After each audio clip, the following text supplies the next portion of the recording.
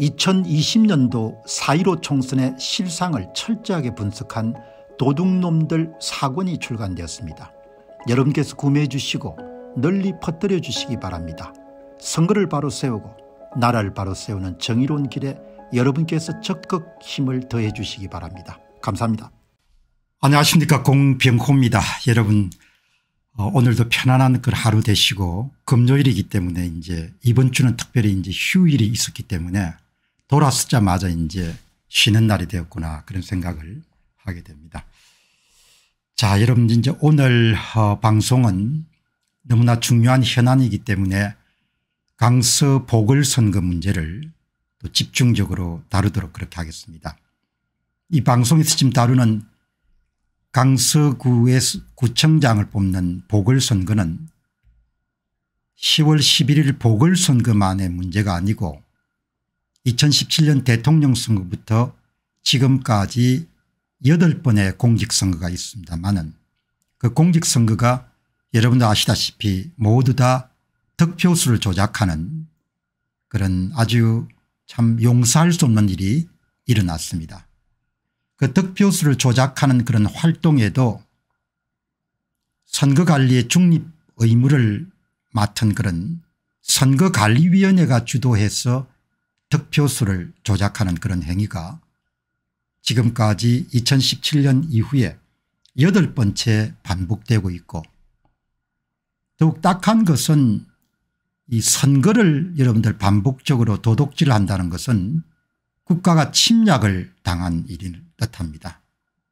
한국의 근현대사를 통해 가지고 저는 지금 대한민국 땅에서 벌어지고 있는 그런 반복적이고 지속적이고 체계적이고 의도가 명확한 그런 부정선거를 그야말로 6.25 전쟁에 필적할 정도의 체제 전복을 노리는 특정 정치 세력과 야합한 선거관리위원회가 내부의 적으로 적으로 이렇게 변신을 해서 국가를 공격하고 국민들을 노예로 만들기 위한 그런 노력으로 저는 정의를 하고 판단을 하고 있습니다.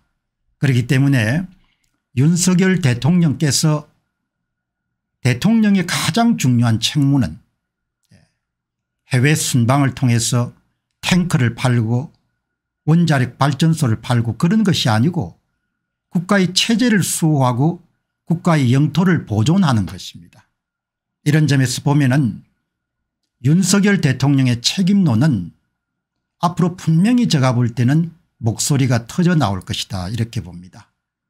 우리가 개인적인 삶을 살아가더라도 어떤 일이든 간에 시간과 에너지와 돈이라는 것은 항상 제한되어 있기 때문에 우선순위를 매겨서 가장 중요한 일을 우선적으로 처리하는 것이 시간인의 지뢰이자 지도자에게 요구되는 그런 의무사항 가운데 하나입니다. 국가가 반복적으로 침략을 당한 상태에서 민간인들이 목소리를 높여가지고 국가를 구해달라고 이렇게 외침에도 불구하고 대통령이 철두철미하게 그것을 외면하고 그냥 묵살하는 태도가 너무나 완연하기 때문에 사실 대통령의 책임론을 저는 거론하지 않을 수가 없습니다. 역사라는 것은 흐르는 것이고 시간도 흐르기 때문에 대한민국에서 부정선거를 깔아뭉개는데 직접 간접 여러분 힘을 다하고 있는 사람들은 자신들이 권력을 갖고 있기 때문에 필히 승리하려고 보지만 우리는 독재가 무너지는 과정이나 국가의 불법적인 그런 사건들이 터져나오는 그런 근현대사를 통해 가지고 결코 거대한 악은 영원히 덮을 수가 없고 얼마 가지 않아서 들통이 나고 국민들은 그냥 입을 다물고 마치 그냥 조용한 양순한 노예처럼 양처럼 보이지만 어느 순간에 여름 급변해 가지고 노도와 같은 그런 파도처럼 배를 뒤집어 엎을 수 있는 것이 민심이고 국민들입니다. 윤석열 대통령은 그야말로 대통령으로서 책무를 전혀 이행하고 있지 않는 그런 상황에 있기 때문에 정말 앞으로 입지가 점점 점점 더 좁아질 것이고 선거를 도둑질한 세력들은 윤석열의 수족을 완전히 묶어서 2024년 총선의 완성과 아마 그들은 4.15 총선보다 훨씬 더 우세한 그런 고지를 점령할 수 있다는 그런 자신감을 이번 10월 11일 강서구청장 보궐선거에 가장 화끈한 조작을 통해 가지고 확신을 가졌을 것입니다. 2027년도 대통령 선거가 끝나게 되면 윤석열 대통령 부부는 분명히 감방으로 갈 겁니다. 그리고 감방으로 갈 때 그 주변에 예, 그동안 이런 한자리 하기 위해서 여러분들 그냥 예, 고개를 숙였던 사람 가운데 거의 남지 않을 겁니다. 그들은 압니다. 선거를 장악한 세력들이 대한민국에서 실질적으로 일당 지배 체제를 열어갈 것인가를 알기 때문에 그들 또한 완전히 윤석열 내외에게 고개를 돌릴 것입니다. 본인이야 여러분들 잘못된 것으로 인해 가지고 고생을 한다고 치더라도 국민들은 그 이후에 10년이 될지 20년이 될지 30년이 될지 죽을 고생을 할 수밖에 없을 것입니다. 이 땅에서 여러분들 생각이 좀 깊으신 분들은 삶의 경륜이나 삶의 지혜를 통해 가지고 지금 나라가 어떻게 돌아가고 있는지를 얼추 짐작을 하고 있을 것입니다. 그렇기 때문에 이 보궐선거 문제를 우리가 집중적으로 여러분들 다루고 이해해서 우리가 세금을 내기 때문에 여러분 공무원들은 시비를 써본터지 않습니까 국민들에게 봉사하는 자지 군림하는 자가 아닙니다. 우리는 윤석열에게 요구할 수 있고 우리는 김기현에게 요구할 수 있고 우리는 한동훈에게 요구할 수 있습니다. 그들이 이름도 우리의 요구를 수용할 수 있으면 그들 탄핵하든지 몰아낼 수밖에 없는 겁니다. 국가가 침략을 당했는데 대통령이 여러분들 취임한 지 여러분들 1년 6개월이 다 돼가는 시점에 한 말씀도 없는 겁니다. 보궐선거에서 근래에 사전투표 조작에 대한 그런 국민들의 원성이 자자하니까 이번만은 특별히 선거관리위원회 관련자들이 관계자들이 힘을 모아서 그런 오해가 생기지 않도록 노력해 주시기 바랍니다. 이 정도의 멘트도 못하는 여러분들 윤핫바지 같으면 물러나야 되는 겁니다. 이 정도 이런 멘트도 할 수가 없으면 은 여러분 이번에 보시기 바랍니다. 이스라엘 전쟁이 터졌을 때 바이든 대통령이 이름 대통령으로서 그렇게 리더십이 이름 약하기 때문에 참 지금 국제사회가 좀 혼란스럽습니다만 바이든 대통령이 분명히 이야기하지 않습니까 주변 국가들에게 경고하건대 우리는 이스라엘을 확실히 백업을 하겠다. 그러니까 레바논이란지 이란이 헤즈볼라라는 이런 사람들이 전선을 확대해서 안 된다.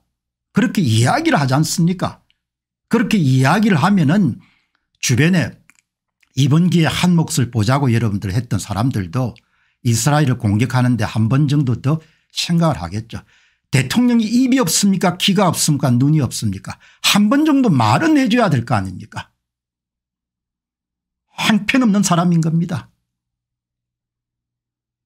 정말 형편이 없는 겁니다.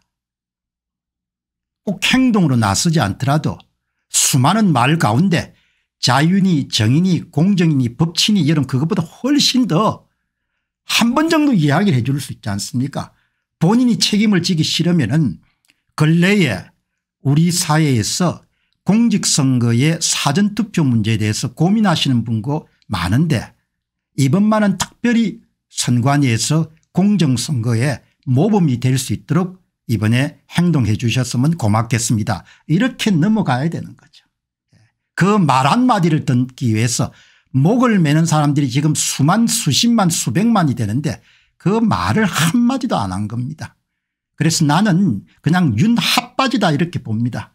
동갑내기고 79학번처럼 같은 동기고 하기 때문에 제가 나이도 있고 이러기 때문에 그렇게 과격한 이야기라 그동안 안 해온 겁니다.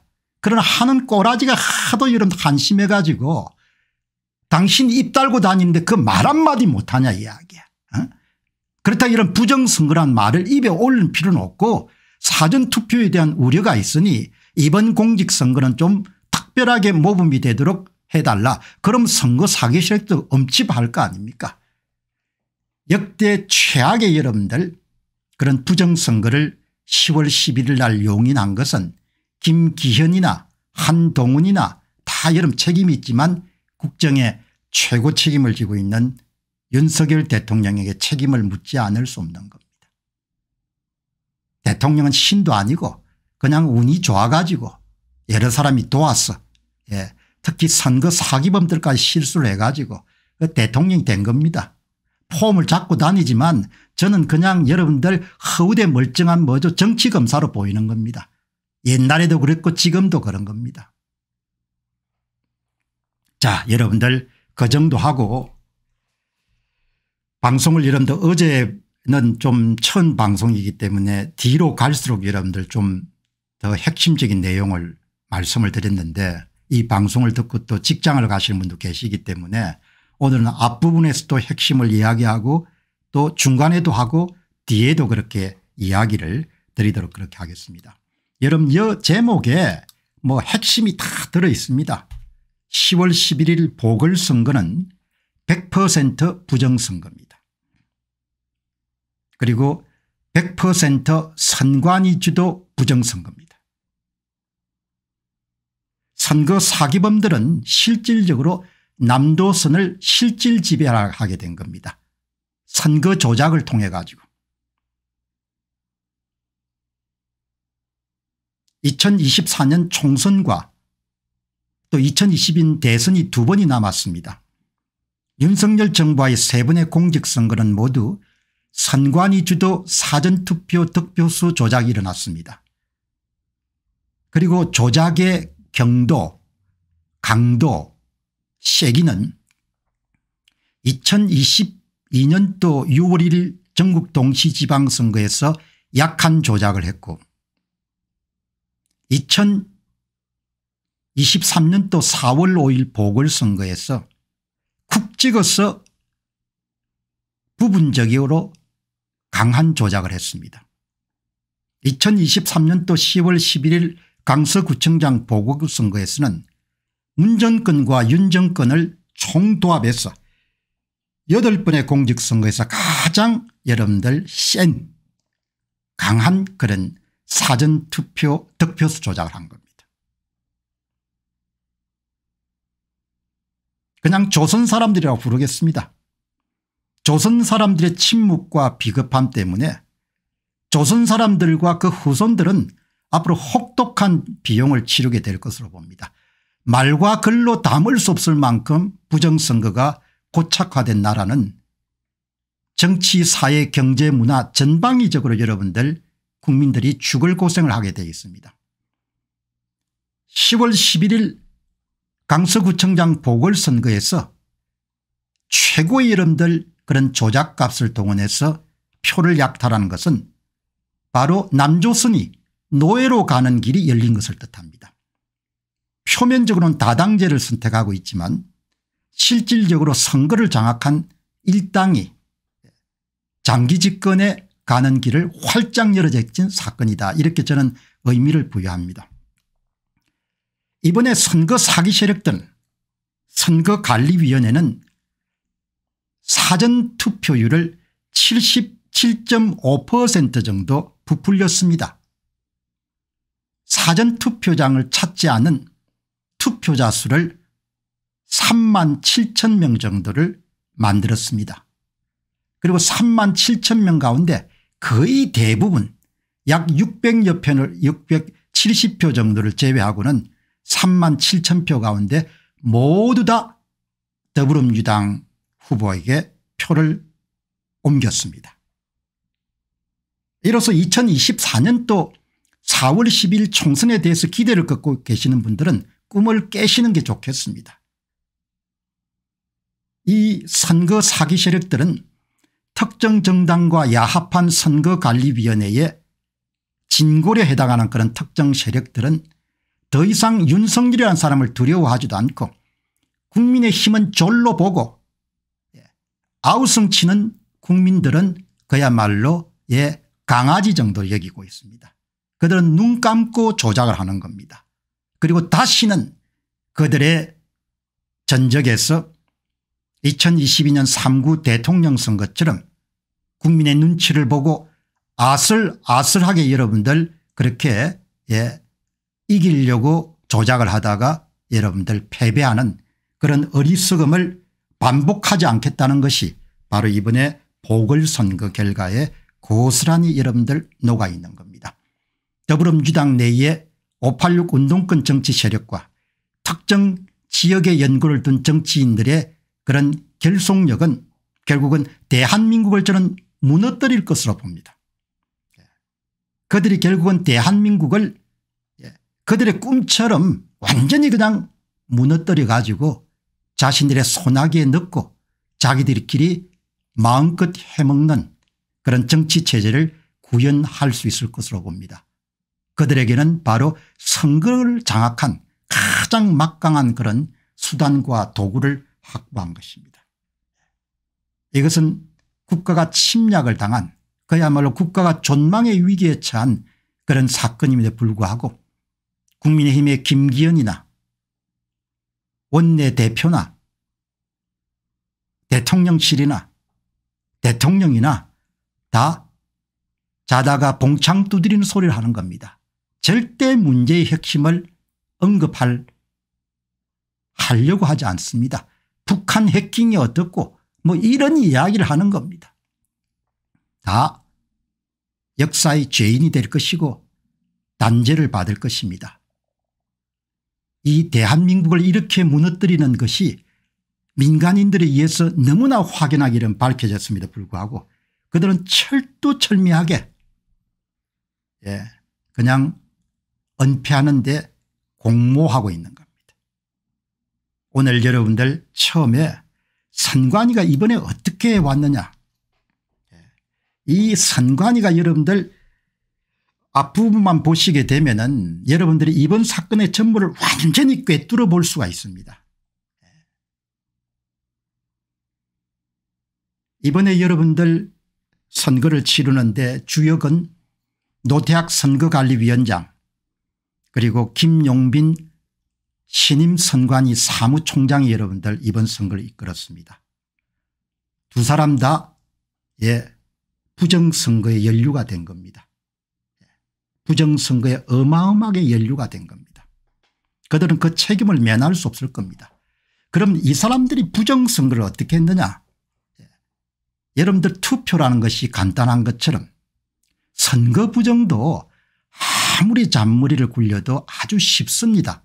쉽다는 이야기는 간단합니다. 예, 그리고 많은 사람들이 개입할 필요가 없습니다. 여러분 대한민국의 공직선거의 부정은 전산 조작에 의한 득표수 조작과 그게 주력 부대입니다. 그 다음에 여러분 지역선거관리위원회의 관련자들을 중심으로 해가지고 실물로 된 위조투표지 투입 이 두 가지 양동작전으로 이루어져 있습니다. 그 두 가지의 궁극적인 여러분들 지향점과 목적지라는 것은 득표수를 조작하는 겁니다. 득표수를 조작을 해가지고 결국은 예 마지막에 여러분들 이 방송을 보시는 분 가운데 이렇게 질문을 던지는 분이 계십니다. 그런데 그렇게 전산으로 득표수를 조작했는데 현장에 있는 사람들이 모르겠습니까 그렇게 이런 댓글을 남기신 분이 굉장히 많습니다. 제가 깔끔하게 여러분들 말씀을 드리겠습니다. 전산 조작에 의해서 여러분들 선관위가 위조된 후보별 득표수를 발표하는 거하고 방송에서 나가는 거하고 개표실에서 이런 개표 상황표를 대해서 집계되는 거하고 다 다릅니다. 아마 지금 이런 검찰이 급습을 해가지고 서버를 압수수색을 하고 그다음에 지역선거관리위원회가 갖고 있는 투표함을 여러분 압수를 하게 되면 두 가지가 완전히 차이가 날 겁니다. 투표함 속에 후보별 득표수하고 선관위가 공식적으로 발표한 전산 조작에 의해서 만들어진 후보별 득표수와 완전히 다른 겁니다. 선관위는 누구도 여러분들 선거 무효 소송을 지금까지 크게 제기한 적이 없습니다. 걱정을 하나도 하지 않을 겁니다. 만일에 김태우가 절대 그럴 리가 없겠지만 김태우가 나서 가지고 투표한 보전 신청을 하고 선거 무효 소송을 여러분 제기하게 되면 김태우의 정치적 생명 끝나겠죠.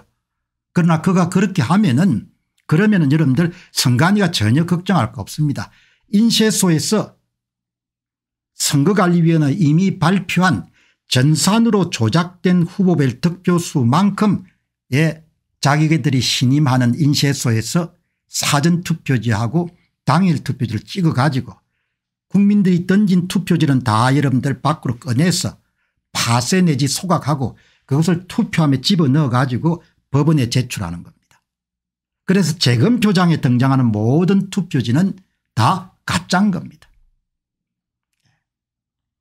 여러분들 현장에 실물로 개수하는 투표지를 개수하는 거하고 메인 서버나 투표지 불기를 이용해 가지고 자기들이 만든 조작값에 따라 가지고 후보별 득표수를 정한 것은 완전히 뭐죠 예, 두 가지 출액이 다 다른 겁니다. 그럼 이번에는 어떻게 했냐 여러분 이번에는 예. 선거인 명부 통합 선거인 명부는 당일 투표에는 실물이 있습니다.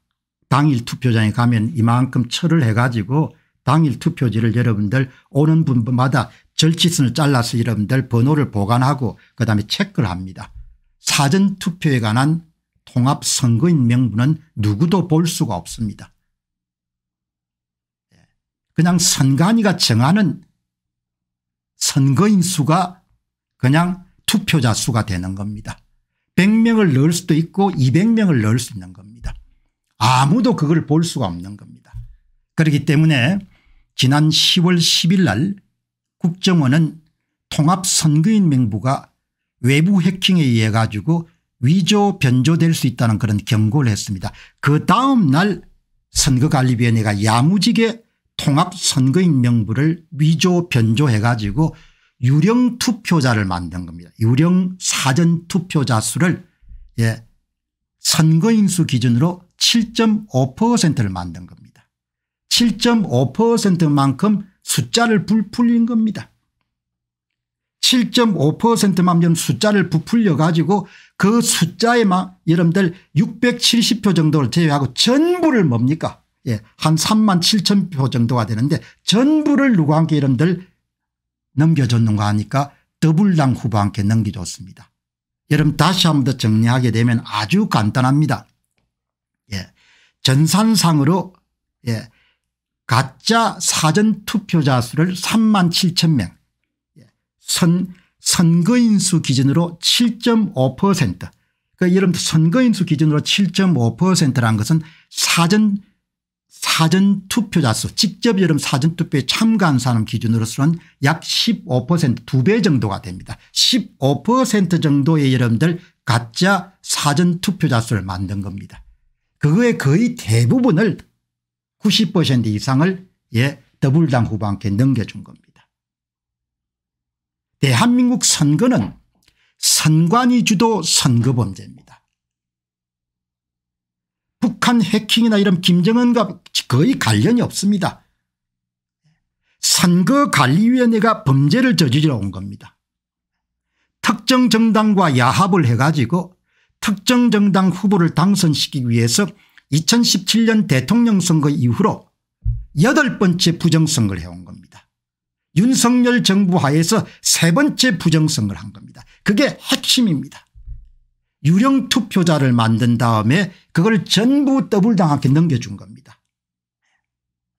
유령 투표자는 본 적도 없습니다. 투표장을 찾지 않았기 때문에.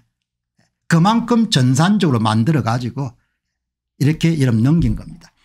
그래서 이 방송을 보시는 분들은 대한민국에서는 투표함을 까가지고 실물 투표지 투표자들이 던진 직접 투표지를 세는 것 그리고 세 가지고 마지막에 개표 상황표 이름들 기록하고 그거를 중앙선거관리위원회 이름 전송하고 이런 것은 따로 돌아가고 그다음 위에는 뭡니까 그냥 예, 자기들이 원하는 숫자를 만드는 겁니다. 이와 같은 방식이 계속해서 좀 이어져 오고 있는 나라가 베네수엘라입니다. 예.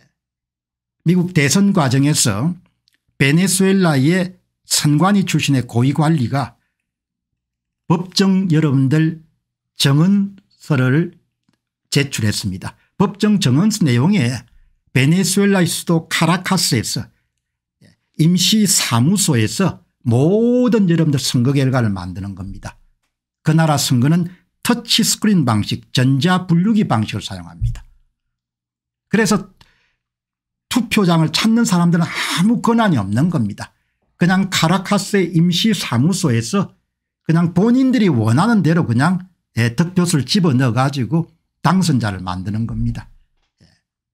대한민국이 지금 그렇게 돌아가고 있는 겁니다. 예. 여러분 그러면 이 사람들이 구체적으로 몇 표나 만들었냐 이 표 하나면 각 설명이 다 됩니다. 이 표 하나면 예. 10월 11일 보궐선거 선관위 유령 사전투표자 수 만들기 선관위 발표가 여러분들 22.64%가 나왔다 이렇게 발표했습니다. 이 밑에 거는 뭐 여러분들 신경 쓰실 거 없습니다. 22.64% 예. 그런데 이 선관위 발표에서 조작한 조작값을 찾아내 가지고 조작하기 이전을 여러분들 추정해 보게 되면 15.09%가 나옵니다. 그래서 7.5%를 만들어낸 겁니다. 표를. 전산적으로 선거인 명부에 있는 사전투표자 수의 7.55%를 여러분들 유령 투표자를 만들어낸 겁니다. 그래서 여러분들 몇 표 정도를 만들어냈는가 하니까 선거관리위원회가 발표한 사전투표 투표자 수는 11만 3,337명입니다. 그것을 7만 5,558표를 뻥튀기 한 겁니다. 몇 표 정도 3만 7,779표를 만들어 가지고 대부분을 누구한테 넘겨줬다. 예. 더불당 후보한테 넘겨줬습니다. 그래서 4만 표 이상 차이가 난 겁니다. 예. 이것은 분명히 선거인 수 기준이고 그리고 이 수치는 조금씩 차이가 납니다. 그래 그 점을 여러분들이 그 이제 사전 투표율을 몇 표나 더했나 이렇게 하면 한 7에서 8%를 더했다 이렇게 이해하시면 될 것 같고 사전 투표 투표자 득표자 수를 몇 표나 더했나 한 3만 7천 표 내외를 더했다 이렇게 여러분들 마지막 숫자인 몇 표 정도는 여러분들이 변할 수 있다 이렇게 보시면 됩니다. 여러분 이게 핵심입니다. 예. 유령 투표자 수를 전산적으로 만들고 95% 거의 99%를 뭡니까 함께 넘겨준다 더불당의 진교준인가 뭐, 교, 뭐 누군가 하는 사람에게 넘겨준 겁니다. 이런 짓을 한 겁니다. 이게 윤석열 대통령이 임명한 신임 선관위 사무총장인 김용빈 하에서 일어난 겁니다. 그래서 하나도 세상은 바뀐 게 없습니다. 4.15 총선에 권순일과 조혜주가 부정선거를 했고 다음에 세상에 여러분들 엎어지면 은 다 처벌받아야 할 인간들이죠. 그다음에 노정희와 김세안이 여러분들 부정선거를 관련했고 그다음에 노태학과 박찬진 여러분들 부정선거에 관련했고 노태학과 사법연수원 원장 출신인 김용빈이 이렇게 부정선거에 관련이 된 겁니다. 예. 여러분들 이렇게 여러분이 보셔야 됩니다.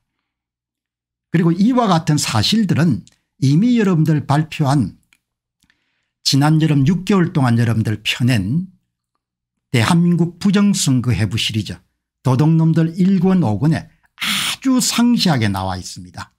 기존의 대선 그리고 총선 지방선거에서 선거 사기 세력들이 어떻게 지금 대한민국을 점령하고 있는지 얼추 어떻게 다 점령했는지를 여러분들 낱낱이 밝힌 바가 있습니다.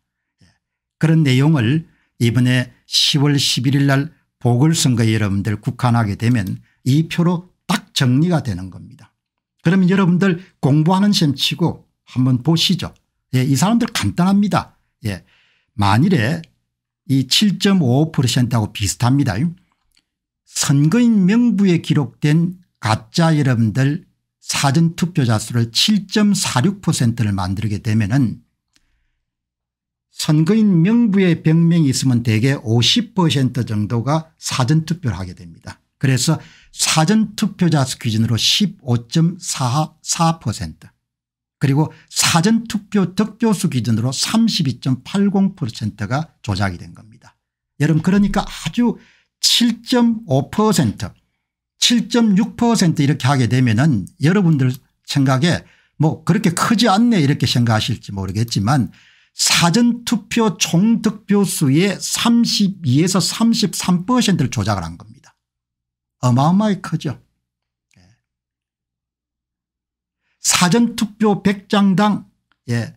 32에서 33장 정도를 여러분들 그냥 조작을 한 겁니다. 예. 엄청나게 큰 겁니다.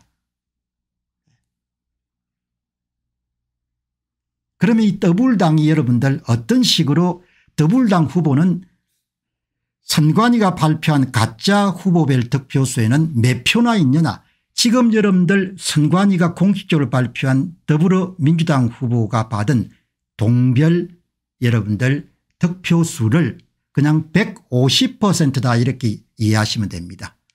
그래서 3등분 나누 가지고 더불당 후보가 받은 선관위 발표 후보별 득표수 곱하기 예, 3분의 2 예, 3분의 1을 하면 진짜 더불당 후보가 받은 사전투표 득표수가 나옵니다. 3분의 2 150%가 들어가 있는 겁니다. 그래 3등분 하셔가지고 2등분은 남기고 1등분을 저런 빼앗으면 그게 바로 진짜 후보별 득표수가 되는 겁니다.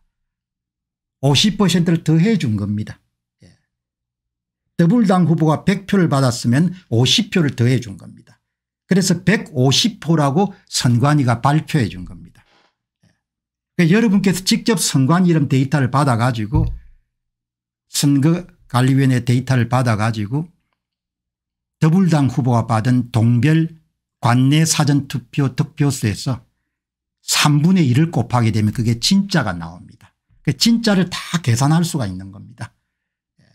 제가 오늘 새벽에 제야 전문가와 함께 내일은 그걸 계산을 해 가지고 직접 국민들에게 보여드리는 게 좋겠다 그래서 아마 내일 아마 제공을 할 겁니다. 더불당은 50%를 보너스를 받은 겁니다. 지금까지 이런 50% 보너스는 대부분 상대방 후보와 함께 도둑질을 한 겁니다. 2022년도 6월 1일 전국 동시지방선거에 조작값은 15%였습니다. 김태우 후보가 받은 사전투표 득표수 100장당 15장을 훔쳐가지고 여러분들 김성현 더불당 후보와 함께 더해 줬습니다. 15장을 훔치고 15장을 줘야 되니까 30장을 훔친 겁니다. 그러니까 김태우 후보가 받은 사전투표 득표 100장당 30장 정도의 격차를 선관위가 만들어준 겁니다. 그럼에도 불구하고 김태우 후보가 2022년 또 6월 1일 전국 동시지방선거에서 당선됐습니다. 그런데 이번에는 어떻게 했는가 하니까 김태우 후보 거를 이름 도둑질한 것이 아니고 그냥 선거인 수를 그냥 부풀린 겁니다. 선거인 수를 부풀려 가지고 그걸 그냥 대부분 다 뭡니까 더불당 후보와 함께 넘겨준 겁니다. 그래서 여러분들 선거 데이터가 발표됐을 때 몇 시간 동안 제야 전문가하고 제가 조금 혼란스러웠습니다.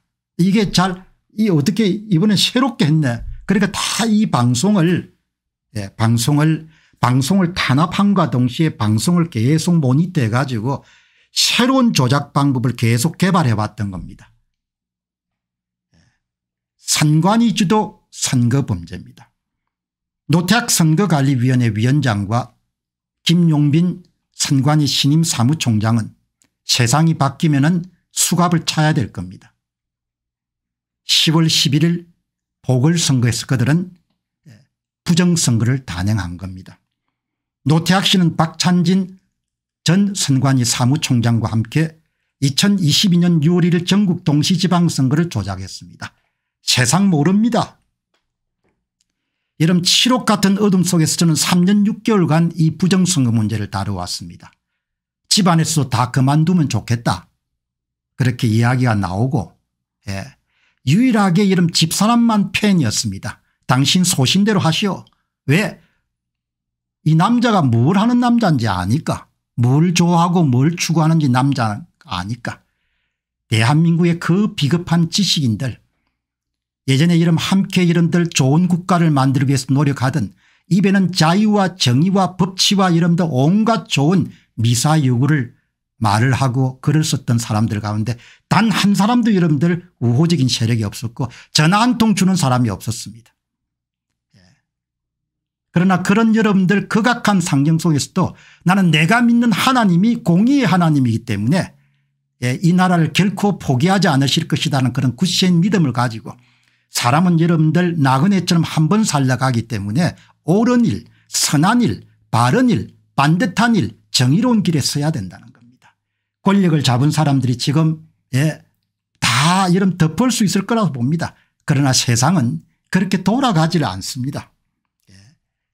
예. 세상이 그렇게 돌아가지 않는다는 것을 알기 때문에 이렇게 계속해서 이 문제를 집요하게 파헤쳐 온 겁니다. 어제 보니까 김용호 연예부장 프로그램을 유명하시던 분이 유명을 달리했더구먼요. 뭐 그분이 뭘 하는지에 대해서는 제가 자세히는 모르지만 가끔 가세연 프로그램이나 이런 데 나온 데를 보면 은 좀 확인되지 않는 사실을 가지고 많이 이렇게 부풀려서 말씀을 하시구나 그렇게 생각을 했는데 아마 그와 관련한 송사 같은 것 때문에 많이 괴로웠던 모양이에요. 사람은 겉으로는 굉장히 굳세게 보이고 또 미국도 갔다 오고 미국에서도 실방송하는 것을 내가 관심 있게 들었던 적이 있기 때문에 예, 그러나 사람이 오른쪽에 서야 되는 거죠. 선한 쪽에. 바른 일을 해야 되는 겁니다. 악과 타협하면 안 됩니다. 예. 금품을 갈취하기 위해서 타인을 뭐죠 예, 압박하거나 이런 건 아니죠.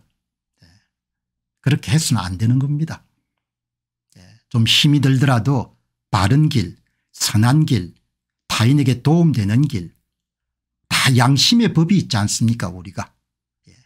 규율과 법이 없더라도 우리는 자연법에 해당하는 양심을 갖고 있지 않습니까 이런 행위가 옳은 것인지 이런 행위가 나쁜 것인지 저는 대한민국의 선거 부정 문제를 규명하고 파헤치고 그것을 국민들에게 알리고 동족들이 그 어려운 고통 속에 빠지지 않도록 돕는 것은 제가 소명이라고 생각하기 때문에 계속해 왔던 겁니다. 서강은 비치고 부정선거는 다 밝혀진 겁니다. 그리고 세상 앞날은 아무도 확신할 수가 없는 겁니다. 아무 일도 없는 것처럼 보이지만 국민이 들고 일어날 수도 있는 겁니다. 정치인들은 그걸 항상 염두에 둬야 되는 거죠. 그러나 인간이란 것은 참새 같아 가지고 눈앞에 이게 다 여러분들 이렇게 다 밝혀진 겁니다. 더불어민주당 후보가 갖고 있는 표가 150%다. 거기서 3분의 1을 곱하게 되면 은3 등분해서 2 등분은 진짜고 한 등분은 선관위가 준 보너스다 이렇게 생각하게 되면 여러분이 직접 선관위가 발표한 후보별 득표수가 지금 팝업창으로 올라 있기 때문에 거기 들어가 가지고 세 등분 나누어 가지고 두 등분만 가지고 아 이게 진짜구나 아, 그다음에 여러분들 한 등분 50% 50% 더하기 50% 더하기 50% 150%지 않습니까 그 50%를 선관위가 더해 준 겁니다. 선거관리위원회가 더불당 후보의 당선을 위해 가지고 50%를 더해 준 거죠. 그러니까 50%를 빼면은 세등분해 가지고 마치 고기 자르는 것처럼 예 그렇게 해서 이런 세등분해가 자르면은 그러면은 딱 예 진짜 더불당 후보가 받은 사전투표 득표수가 나오는 거죠. 여기 이런 7.5% 3만 7,779표를 유령표로 만들었다는 것은 조금은 바뀝니다. 그래서 다른 기준으로 해보니까 7.35%가 나오고 예, 조작한 표수는 3만 5,742표가 나오기 때문에 대략 여러분들이 아 이 친구들이 한 7.3에서 7.5 정도를 조작했구나. 3만 한 6천 표에 3만 8천 표 정도를 조작했구나 이렇게 여러분들 이해하시면 좋겠습니다. 예. 추정치를 만드는 과정에서 이렇게 숫자를 만들지만 끝자리 몇 숫자 뭐 몇십 몇백 정도는 차이가 날 수 있다. 이 점을 여러분들이 이해하시고 참 조작을 많이 한 겁니다. 선거인 수의 7.46%란 것은 선거인 수는 투표자 수의 두배 정도가 되기 때문에 사전 투표자 수의 15.44%고 예, 사전투표자 수의 15.44%란 것은 사전투표 득표 수의 약 32배 그러니까 거의 두 배씩입니다. 32.80%를 이번에 조작을 한 겁니다. 그렇게 해서 더불당이 17% 차이로 압승을 한 겁니다. 압승으로 끝난 다음에 대통령실은 결과를 겸허히 받아들이겠다 이렇게 이야기합니다. 김기현 이런 국민의힘 당대표는 북한 해킹 관련 TF를 발족해서 선관위 관련 TF를 하겠다. 예. 자다가 봉창 두드린 소리를 하는 겁니다. 남자가 세상을 한 번 살다 가는데 예. 그렇게 이름들 남자들이 비급해서 되겠습니까 예? 사악함이 여러분들 물결치는 시대지만 우리는 분연히 일어나 가지고 국가를 구해야 되는 겁니다. 저 사악한 인간들이 국가를 삼켜 가지고 국민들을 노예로 삼고 여러분 이번에 보시기 바랍니다. 이스라엘 사람들 얼마나 num겼습니까 전 세계에서 여러분들 전 세계를 이용해 가지고 청년들이 돌아오지 않습니까 어제 한 분께서 이런 방송에 글을 남겼더군요. 아드님이 명문 프린스대 대학교 경제학과 여름 다니는데 지나기 전에는 유대인 친구들이 다 돌아갔다는 거 아닙니까 조국으로. 여러분 제가 이렇게 하는 것은 우리가 예, 우리가 지킬 만한 나라를 만들어내야. 예. 선거 부정이 반복적으로 일어나는데 대통령이라는 사람이 입을 다물고 한 말도 안 하고 예. 신임 대통령이 검찰총장 출신이라는 사람이 등장하고 나서 세 번 정도 야무지게 이런 부정선거가 일어나고 시간이 갈수록 더 이러면 내놓고 하는 부정선거가 일어나고 국가를 보위해야 될 최동영이한 사람이 선거 부정에 여러분들 거의 공모자가 비슷하게 여러분들 입을 다무는 거니까 내가 어떻게 이런 윤 대통령을 부르겠습니까 윤 핫바지라고 부르는 거죠. 윤 대통령은 내하고 동갑이고 이런 79학번 동기입니다. 그래서 이런들 각별히 같은 시대에 살았기 때문에 가급적이면 제가 비판적인 이야기를 그동안 안 해온 겁니다. 허우대만 멀쩡해가 아무 일도 하는 일이 없는 겁니다. 내 입에서 이런 이야기가 나옵니다. 예. 경상도에서 이름들 성장해 갈 때 저는 경남 통영이 이름 집인데 부모가 하는 이야기 가운데 아주 귀에 여러분들 지금도 박혀 있는 게 있습니다. 남자가 허우대만 멀쩡하면 여러분들 실속이 없다. 이를 마무리를 못하는 겁니다. 깔끔하게. 그 사람은 권력을 갖고 있고 나는 야인이지만 인생을 최소한 그렇게 살아서는 안 된다는 겁니다. 한마디만 해도 이러면 이렇게 조작을 안 했을 겁니다. 예. 공정선거를 당부한다 이런 말씀이 대통령 대통령 중심제지 않습니까 대통령 중심에서 김기현이가 어떻게 나서겠습니까 대통령 중심에서 어떻게 한동훈이 나서겠습니까 모든 책임은 윤석열이가 져야 되는 겁니다. 자 여러분 이렇게 정리를 하고 다음 이렇게 저 주제로 들어가기 전에 요즘에 이제 아랍 유대인 전쟁. 자, 여러분 이 역, 사가 구약 보시는 분들은 아시죠.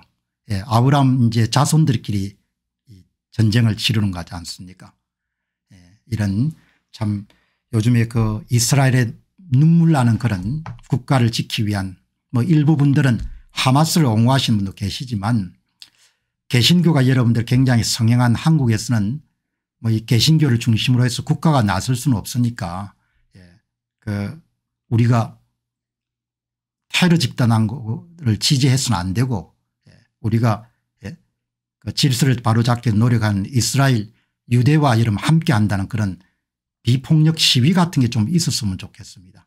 어제는 시부야 일본의 시부야에서 일본인들이 나서 가지고 이스라엘을 지지하는 그런 모임을 가졌더구먼요. 예. 언제 정도 한국에서는 그런 모임이 있나 이렇게 제가 기다리는데 우리 기독교인들이 나서 가지고 예, 그렇게 해서 트위터나 이런 걸 통해 가지고 세상에 한국인들도 유대인을 이스라엘을 지지한다 이야기죠. 왜 테러니까 예. 아이들을 그냥 몰살시킨 테러니까 예. 그래 그게 이런 정신이 살아 있어야 되거든요. 사람들이 윤리의식이 있어야 나설 거 아닙니까 개신교 이런 기독교를 합쳐가지고 그 고교를 합쳐가지고 한 천만 정도가 되는데 그런 소리가 전혀 안 들리네요. 오슬로 뭐 암스테르담 예, 시카고 다 여러분들 뭐죠? 예, 테러에 대해서 보편적 질서에 대한 부분들 찬성을 하지 않습니까? 여러분께서는 정말 한국인이 쓴 귀한 세계사의 통서인 기독교로 보는 세계 역사 한번 보시게 되면 굉장히 좋은 그런 결과를 얻을 수 있지 않겠느냐 그런 생각을 하게 됩니다. 자 그럼 여러분 이제 두 번째 주제입니다. 오늘 바쁘신 분들은 이제 전반부만 보고 나가셔도 괜찮고 계속 보시면은 거의 뭐 부정선거 박사학위를 받으실 수가 있을 테니까 예. 결정적 조작 증거입니다. 여러분 눈 크게 뜨고 보시기 바랍니다. 바쁘신 분들도 이것만 보고 가시기 바랍니다. 예. 이 사람들이 앞에서 제가 뭐라고 했습니까 제가 이 사람들이 예. 유령 투표자 수를 만들었다는 거 아닙니까 그지 예. 사전 투표자 수의 15.44% 선거인 수 기준으로 7.46% 사전투표 득표수의 32.80% 정도의 표를 만든 겁니다. 가짜표를. 여러분 가짜표를 만들어서 누구한테 주겠습니까 선관위 여러분 선거 사기 세력들이 가짜표를 만들어서 누구한테 표를 넘겨주겠습니까 예. 예. 이 가짜 표를 전부 뭡니까 더불당한테 준 겁니다. 예. 거의 전부 더불당한테 준 겁니다. 이거를 여러분들 완전히 제야 전문가가 이런 새벽에 예, 데이터를 보내줬기 때문에 여러분들이 이번 선거의 핵심을 파악한다는 의미에서 이 자료를 여러분들 아주 유심히 보시기 바랍니다. 이 자료. 이 자료가 결정적입니다. 예. 여러분 거듭 말씀드리지만 이 자료는 예. 대한민국 부정선거를 밝히는 데 가장 큰 기여를 한 조작값을 찾아낸 선거관리위원회가 어떤 규칙을 이용해 가지고 후보별 득표수를 조작해 왔는가를 선거마다 선거구마다 밝힌 제야 전문가가 여러분 이번에도 그냥 예, 지치지 않고 이번에도 이 자료를 보내준 겁니다. 여러분 이 자료를 한번 보시기 바랍니다. 이 자료의 특징은 뭔가 하니까 가짜 유령 사전투표제를 만든 다음에 전부 뭡니까 누구 함께 주었다 더불당 후보한테 넘긴 것을 그대로 밝힌 겁니다. 여러분 선거 데이터는 이렇게 무지막지하게 여러분 겁납니다. 여러분 보시기 바랍니다. 예. 눈을 크게 또 여러분 보시기 바랍니다. 눈을 크게 뜨고 예. 여러분 이 자료를 가지고 찬찬히 설명할 테니까 그러니까 10월 11일 보궐선거 이 선거관리위원회가 부정선거를 어떻게 주도해 왔는지를 이 표만큼 여러분들 리얼하게 생생하게 여러분들 이야기해 줄 수 있는 거가 없습니다. 여러분 이 보시기 바랍니다. 아시다시피 여러분 이 염창동 예, 여기에 여러분들 이게 아, 이겁니다. 여러분 보시죠. 예. 우편 투표는 없습니다. 관내 사전 투표는 염창동 보시기 바랍니다.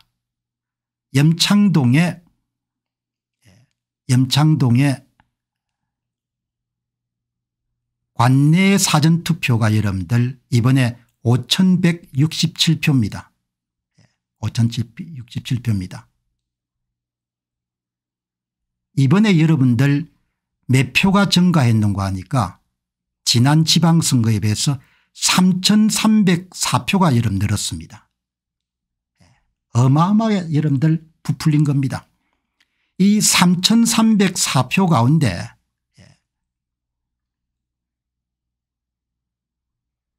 지난번에 진교훈이 더 받은 것이 지난번 선거 지방선거에 비해 가지고 3174표를 받은 겁니다.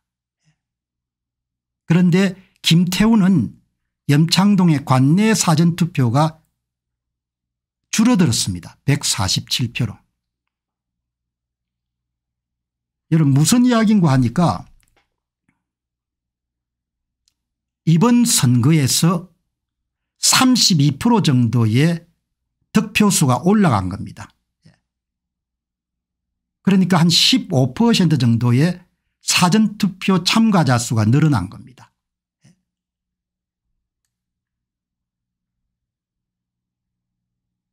여러분들 이번에 선 선거인 명부 기준으로 7.5%의 사전투표자 수가 늘어난 것이고 사전투표자 수 기준으로 15.44%가 늘어났는데 여러분 이렇게 늘어나게 되면 김태우도 좀 받아야 될 거 아닙니까 김태우가 여러분 줄어든 겁니다 지방선거에 비해 가지고 예? 사전투표는 엄청나게 늘어났는데 그래서 진교훈이는 김성현이보다 이번 보궐선거에서 3174표를 더 얻었는데 김태우는 사전투표자 기준으로 15% 정도 여러분들 어마어마하게 사전투표자 수가 늘어났는데 147로 줄어든 겁니다. 예. 여러분 등촌 제1동도 마찬가지입니다. 정통대 1동도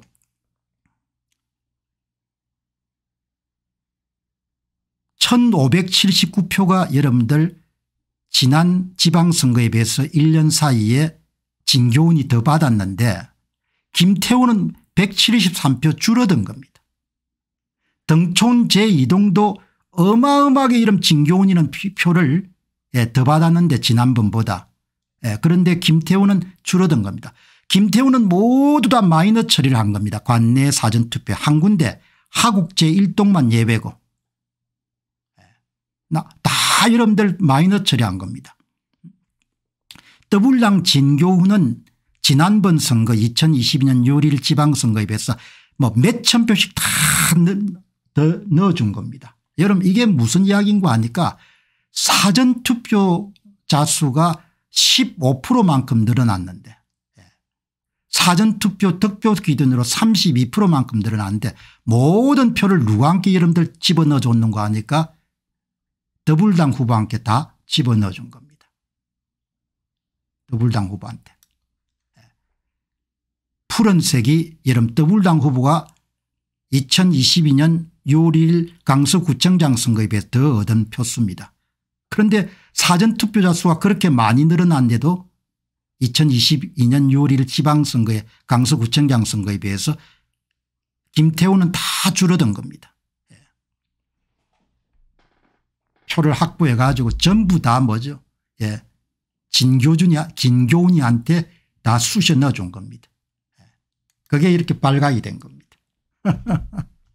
예.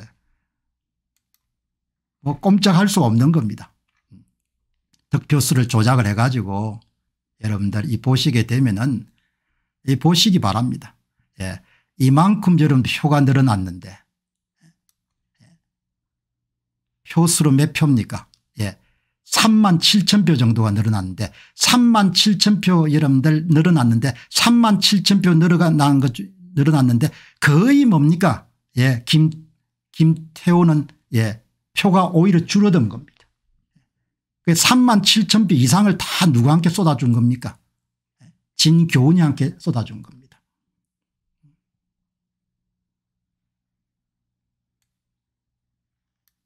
선거관리위원회가 유령 사전 투표자 수를 선거인 명부 기준으로 7% 사전투표 참가자 수 기준으로 15% 사전투표 득표수 기준으로 32% 정도를 늘린 다음에 그것을 전부 다 진교훈이한테 준 겁니다. 푸른색. 아니 여러분들 한 100표 정도 여러분들 사전투표 참가자 수가 늘어나면 아니 그 부스러기라도 누구 함께 가야 되면 김태우 함께 가야 되지 않습니까 전부 다 붉은색입니다. 마이너스 값입니다. 김태우는 여러분들 한 표도 안 간 겁니다. 다 진교훈이한테 넘겨준 겁니다.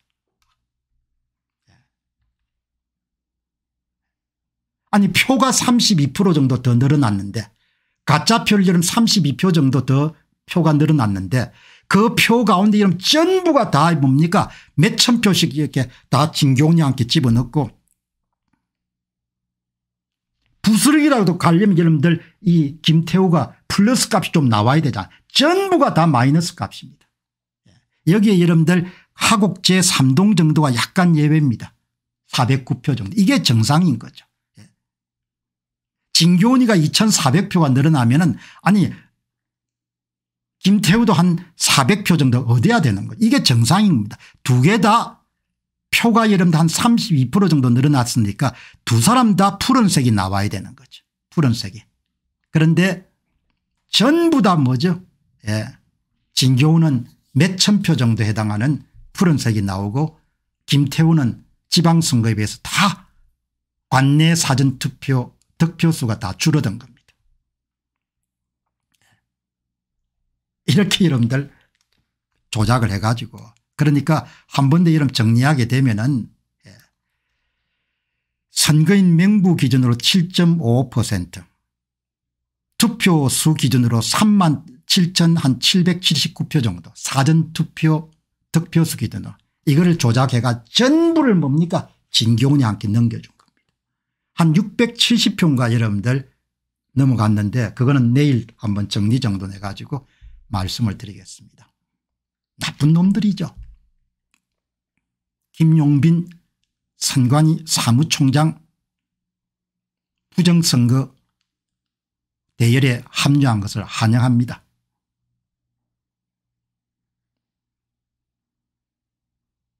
오늘 방송 준비하면서 보니까 1960년생이 아니고 1959년생이더구만요. 어떻든 환영합니다. 예. 조혜주와 김세환과 박찬진과 예. 그 사람들은 뭐 늘공 출신이니까 판사 출신인 김용빈 씨가 부정선거 세력에 합류를 한 거죠. 나는 역사적으로 반드시 단죄받을 것으로 봅니다. 이런 사람들이 단죄를 받을 수가 없으면 나라가 망하겠죠. 김용빈 선관위 사무총장 체제 하에서 완벽한 부정선거가 여러분들 자행된 겁니다. 이렇게. 모든 표를 푸른색처럼 여러분들 유령 사전투표자 수를 만든 다음에 염창동에 3174표를 넣어주고 등촌 제1동에 1579표를 넣어주고 등촌 제2동에 1410표를 넣어주고 모두 다 더불당의 진교훈 후보와 함께 표를 넣어준 겁니다. 그리고 참 기가 찬 것은 사전투표자 수의 32% 정도가 늘어났는데 단 한 표도 여러분들 김태우와 함께 가지 않았습니다. 모두 다 붉은색입니다. 마이너스 147표 마이너스 173표 마이너스 44표 마이 플러스 플러스 이게는 이게 마이너스일 겁니다. 예. 아 이거는 플러스네요. 플러스 이거는 잘못했네요. 플러스 94 마이너스 141 마이너스 44 예. 마이너스 162 요게 틀렸네요. 이게 푸른색입니다. 푸른색이 하나 나왔네요. 하곡동하고. 이렇게 여러분들 조작을 해가지고 숫자 숫자 조작하면 걸립니다. 예. 여러분 숫자를 조작하게 되면은 그래서 이제 오늘 방송 보시는 분들이 더 명료하게 이해하셔야 될 부분은 지금 현재 대한민국의 공직선거는 예, 개표 현장에서 벌어지는 개수를 해서 개표 상황표에 여러분들 기록하고 도장을 찍고 하는 그런 실물 투표지를 세는 일하고 선거관리위원회의 선거 사기 세력들이 사전투표 득표수를 조작하는 거하고 방송 나가는 거가 다 따로 나가는 겁니다. 다 별도로. 그래서 아마 지금 여러분들 시간을 주지 않고 검찰이 이런 급섭해가 지역 선관위가 여러분들 보관하고 있는 사전투표 여러분들 투표함을 그냥 그대로 압수를 하게 되면 완전히 다를 겁니다. 발표한 거하고. 시간을 줬기 때문에 예. 질질 끌면서 4.15 총선에서 여러분들 130군데 선거 무효 소송을 시간을 끌면서 지역선거관리위원회가 위조 투표지를 제조해 가지고 진짜 투표지를 소각 파쇄하고 그것을 투표함을 채운 다음에 법원에 제출할 수 있는 시간을 준 거죠. 이런 것을 검찰 출신인 윤석열 대통령이 모를 리가 전혀 없을 겁니다. 참 대단한 양반이에요. 나는 납득할 수도 없고 이해할 수도 없고 용서할 수도 없는 겁니다. 네. 본인이 여러분들 검찰총장으로 재직할 당시에 4.15 총선과 관련된 수많은 여러분들 고소고발이 있었기 때문에 잘 알 겁니다. 검찰이. 네. 그러나 이걸 다 깔아뭉개는 겁니다. 김용민이 체포돼야 될 사안이죠. 이 윤덕창님처럼 김용민이 부정선거를 한 겁니다. 네. 여러분 공직자란 것은 지휘체계가 있기 때문에 밑에 친구들이 부정선거를 하도 본인이 책임을 지는 겁니다. 김용민이 부정선거와 한 패거리가 된 겁니다. 김용민이를 임명한 사람이 윤석열이라는 사람입니다.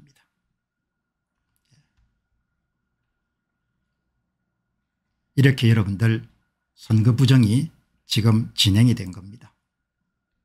자 여러분 이제 주제를 좀 다 바꾸어 가지고 이제 세 번째 주제를 한번 다뤄보도록 그렇게 하겠습니다. 득표수 조작 증거.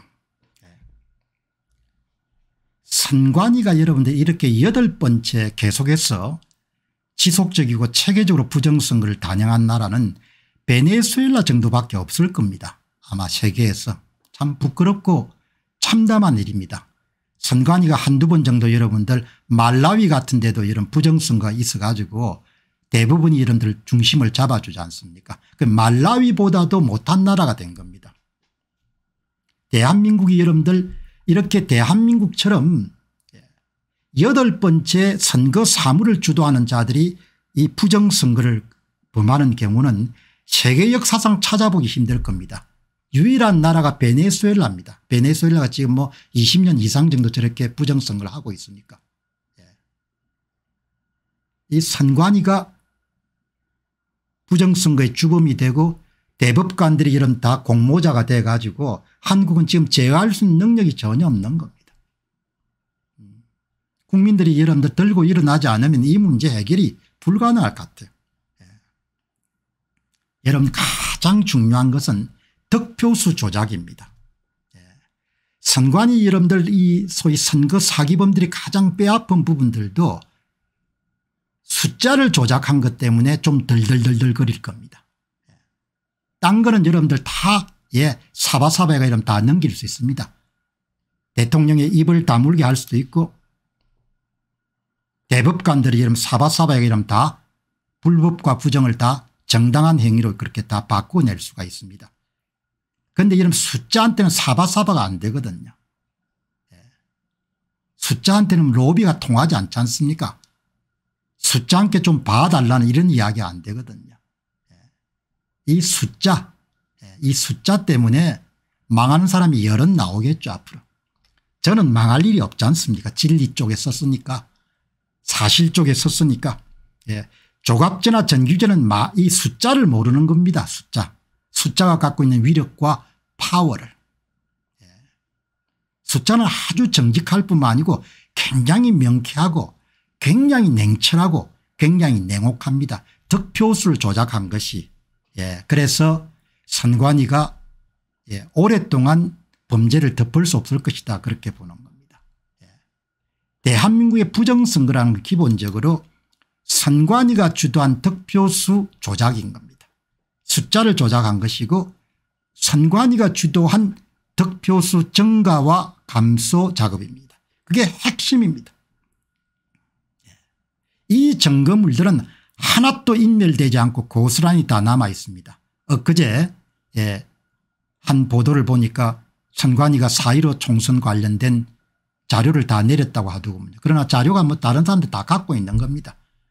대한민국 부정선거는 선관위 주도 득표수 조작이고 이전에 여러분들 책임자는 기억이 나지 않지만 50억 클럽과 재판거래 의혹으로 이름 지금 수사 대상이 되고 있는 1959년 대전고등학교 출신 서울법대 출신인 권순일이 선관위원장을 하고 조혜주가 여러분들 선관위 사무총장을 했던 4.15 총선에서 이런 두 사람이 부정선거의 여러분들 진두 지휘자였습니다. 그 이후에 노정희와 김시안이 3구 대통령 선거하고 2021년도 보궐선거는 누가 맡았는지 모르겠습니다. 보궐선거도 서울시장 보궐선거나 부산시장 보궐선거도 완전히 조작을 했거든요. 조작했음에도 불구하고 오세훈과 여러분들 다른 사람이 당선이 된 거죠. 이게 핵심입니다. 예. 선관위가 주도한 범죄고 예. 세계 역사상 이렇게 선거관리위원회가 8번씩이나 여러분들 체계적이고 조직적이고 여러분들 이렇게 부정선거를 단행해 왔고 그럼에도 불구하고 수사 한 번 받지 않는 이런 나라는 없을 겁니다. 사기 천국이 돼버린 겁니다. 윤석열이라는 사람의 책임이 어마어마하게 큽니다. 나는 그 사람이 앞으로 책임지는 날이 올 거라고 봅니다. 여러분 이렇게 숫자를 조작했기 때문에 숫자 조작은 숫자 조작은 그냥 금세 들통이 나지 않습니까 예. 여러분이 뭐 그동안 많이 보셨겠지만 이 그래프가 여러분들 그냥 이 그래프 한 장이 2020년도 4.15 총선의 전부를 우리에게 말해 주지 않습니까 예. 이4.15 총선의 여러분들 부정선거는 이미 도둑놈들 사권 4.15 총선을 어떻게 훔쳤나 이 사권 이 사권을 통해서 여러분들 아주 낱낱이 여러분들 밝힌 바가 있습니다. 예. 도둑놈들이 오금이 저릴 정도로 여러분들 부정선거를 다 밝힌 적이 있죠. 이게 핵심입니다. 예.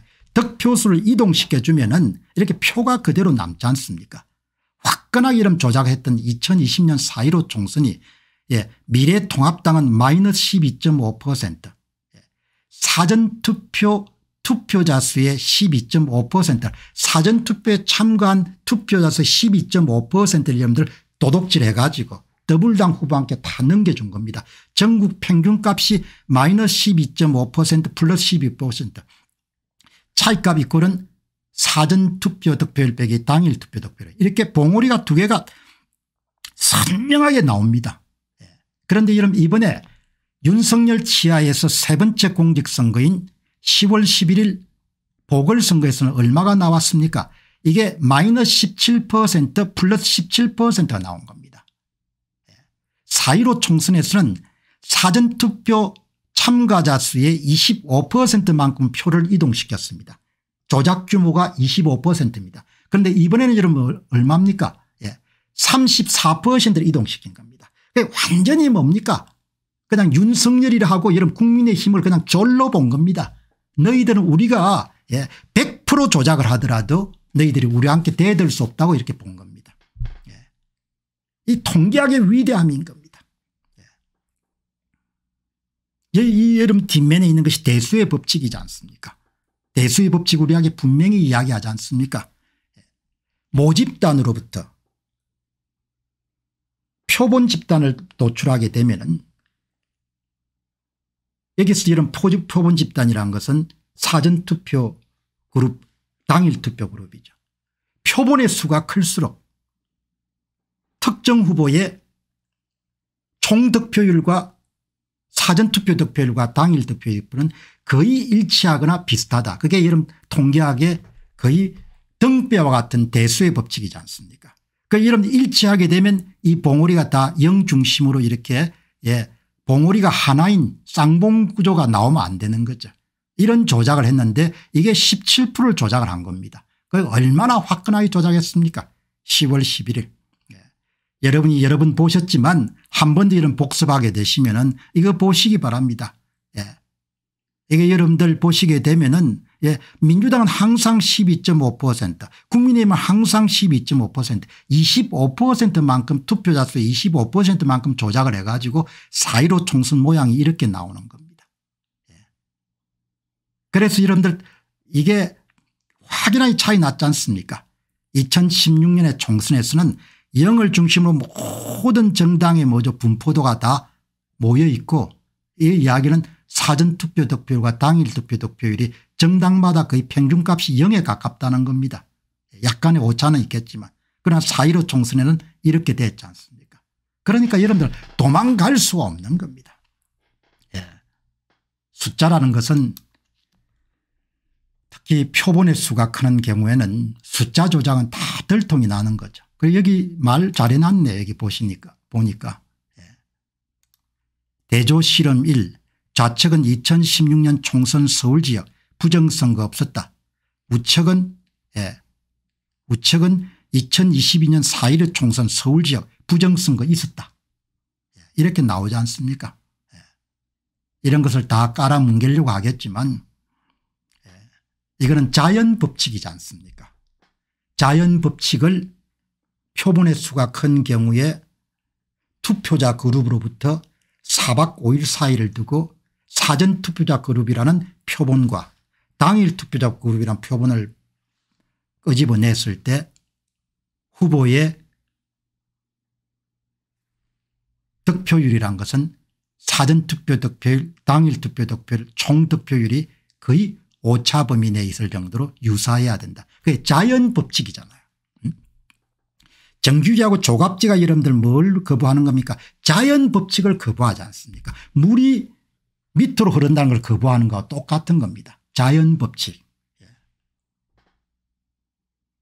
사람은 여러분들 다 뭐죠 예. 구약을 보면은 모세가 여러분들 한 1500년 무렵이죠 모세가. 예.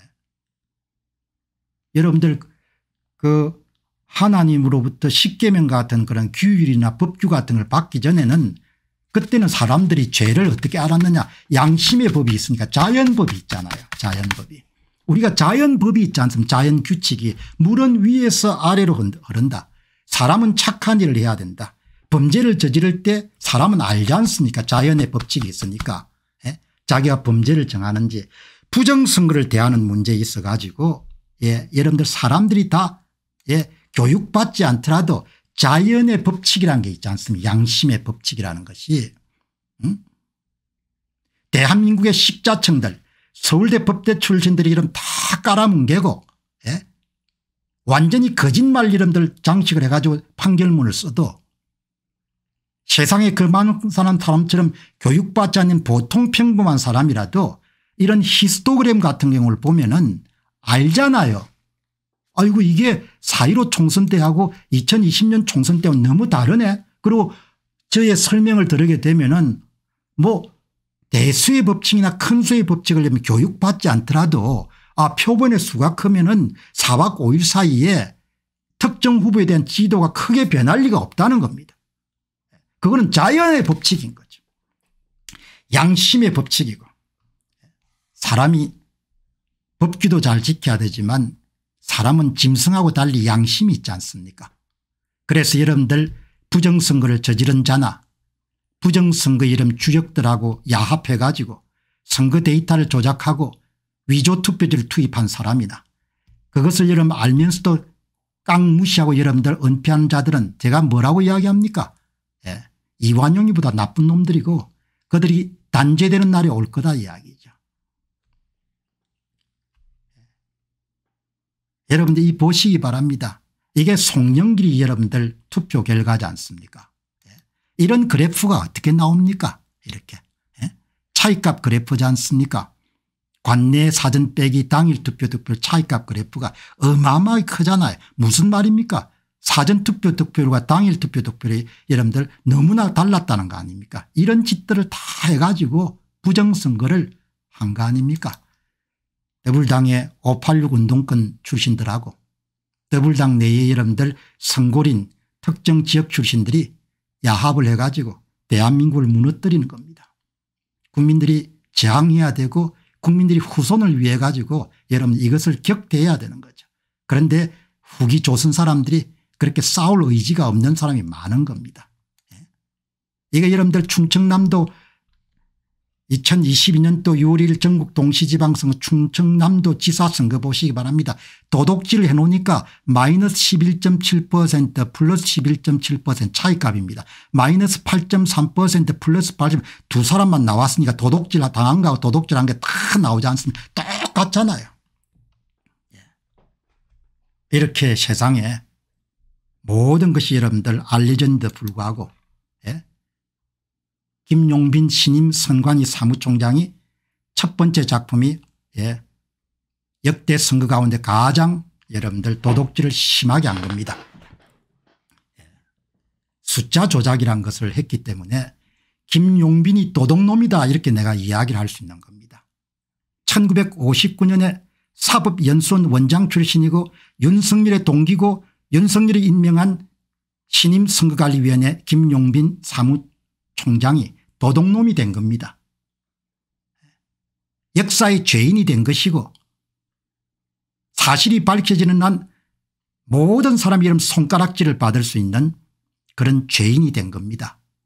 조혜주나 김세한이나 박찬진이나 이런 사람들은 그냥 선관위에서 굴러먹은 사람들이기 때문에 죄인이 된다고 칩시다. 평생 동안 뭐죠 예, 고고하게 살아온 예, 판사님께서 들어가 가지고 범죄자들과 한 통속이 돼 가지고 뭐죠 10월 11일 강서구청장 보궐선거를 역대 선거 가운데 가장 좀 심한 조작 선거를 한 겁니다. 누가 했습니까 서울법대 출신이 한 겁니다. 누가 했습니까 윤석열의 동기가 한 겁니다. 누가 했습니까 윤석열이 임명한 사람이 이름 한 겁니다. 세상에 할 일이 있고 해서 안 되는 일이 있는 겁니다. 1959년 1960년생 정도 되면 정상적으로 결혼했으면 여러분 아이들이 30대 중후반일 겁니다. 손자 손녀가 여러분 정상적인 결혼하고 그렇게 했으면 있을 나이인 겁니다. 예. 죄인들인 겁니다. 범죄자들인 겁니다. 할아버지가 여러분 다음에 예, 범죄자라고 이렇게 이야기 들어서 되겠습니까 그러나 범죄를 이미 저지른 겁니다. 득표수 조작이 여러분 얼마나 겁납니까 여러분 이거 한번 보시기 바랍니다. 전번에 이런 말씀드렸지만 안 보신 분들이 계실 것 같기 때문에 얼마나 아름답습니까 사전 빼기 당일 투표 득표율 차이가 2020년도 4.15 총선에 20대 총선은 마이너스 0.4 플러스 0.4입니다. 도둑질 안 해놓으니까 이렇게 이런 오차 범위 내 차이값이 적습니다. 도둑질을 하면 어떻습니까 강남구 갑에서 더불어민주당 김성곤 플러스 13.5% 미래통합당 태구민 마이너스 12.9% 도둑질하면 이렇게 큰 숫자가 나온 겁니다. 사전투표와 당일투표율이 엄청나게 큰 차이가 나오는 겁니다. 대수의 법칙을 위반한 예 부정선거라는 겁니다.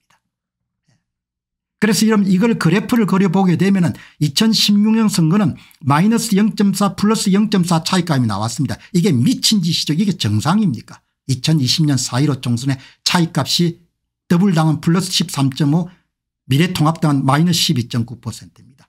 이런 것을 보고도 이거를 덮는다. 이런 죄인들이 어디 있습니까 이런 죄인들은 사형제를 부활을 시켜야 될 겁니다.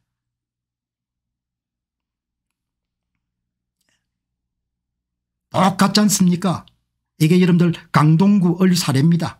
이 보시기 바랍니다. 2016년 20대 총선 사전 빼기 당일이 뭐죠 0% 0%입니다. 무슨 이야기입니까 예.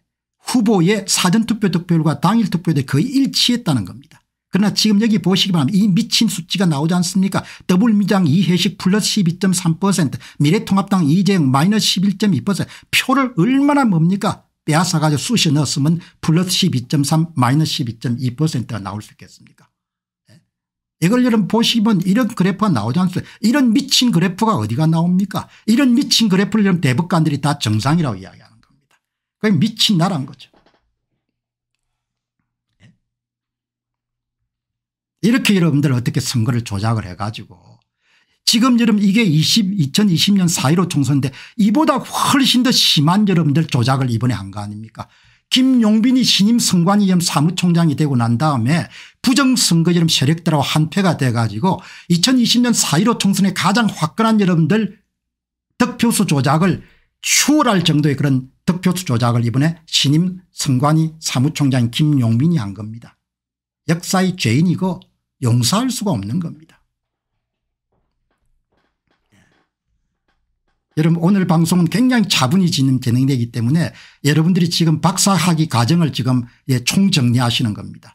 그래서 여러분 이 보시기 바랍니다. 모든 득표수를 조작해 놓으니까 예, 강서구 역대 선거 조작 조작값 기준 보시기 바랍니다. 여기서 여러분들 조작값이라는 것은 낙선시켜야 될 후보가 받은 사전투표 득표수 100장당 몇 장을 도둑질할 건가 그겁니다. 10장을 도둑질하면 조작값이 10%고 20장을 조작하면 이런 조작값이 20%입니다. 그런데 이런 조작값이 10%래가 10% 생각하면 안 됩니다. 왜 그런가 하니까 10%만큼 도덕질해가 10%만큼 대주니까 실질적으로는 표를 빼앗기는 사람의 사전투표 득표수 기준으로 20% 표를 빼앗는 겁니다. 그러니까 여러분 보시기 바랍니다.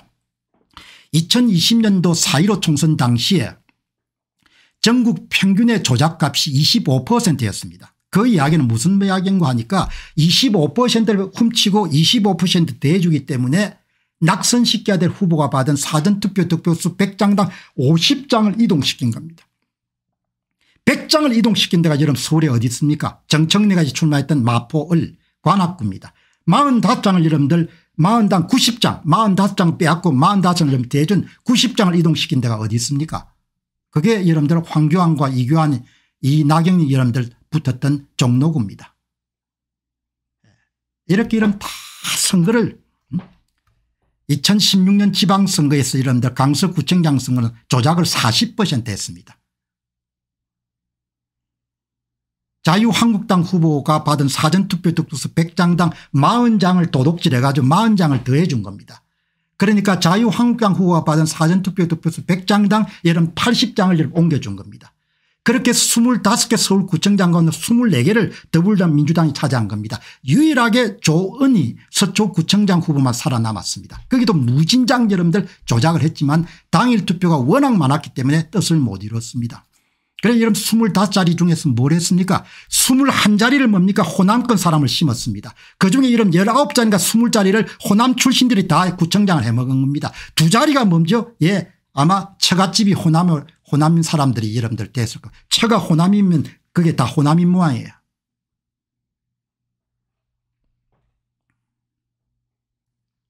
그렇게 여러분들 선거를 조작을 해가지고 2020년 총선은 조작값이 강서구청장은 조작값 35% 2022년 지방선거는 조작값 15% 2024년 보궐은 김태우가 빼앗긴 표를 기준으로 하면 얼추 50%가 될 걸로 추정합니다. 아직 이거는 예 그냥 추정치 정도로 여러분 이해하시면 됩니다. 가장 최고치입니다. 가장 심하게 여러분들 조작을 한 겁니다. 득표수를 조작한 겁니다. 다시 한 번 말씀드리면 은 유령 투표자를 만든 다음에 예, 선 선거인수 기준으로 7.5% 사전투표자 기준으로 15.44% 유령 투표자를 만든 다음에 그걸 모두 다 더불당 후보한테 넘겨주는 새로운 수법을 이번에 동, 동을 한 겁니다. 예. 이렇게 여러분들 정리를 하게 되면 은이 부정선거 세력들이 무슨 짓을 했는지 우리가 뭐 훤하게 여러분들 알 수가 있을 겁니다. 여러분께서 이 문제를 좀 더 관심 있게 보시는 분들은 이 도둑놈들 시리즈 예, 도둑놈들 시리즈가 선거 부정 문제를 그냥 배속까지 여러분들 다 파헤쳤기 때문에 예, 말을 못하는 겁니다. 선관위 측이. 음. 벌써 이런데 고소고발 들어왔겠죠. 예. 저 인간만 입을 다물어주면 그냥 넘어갈 건데 그렇게 생각할 겁니다.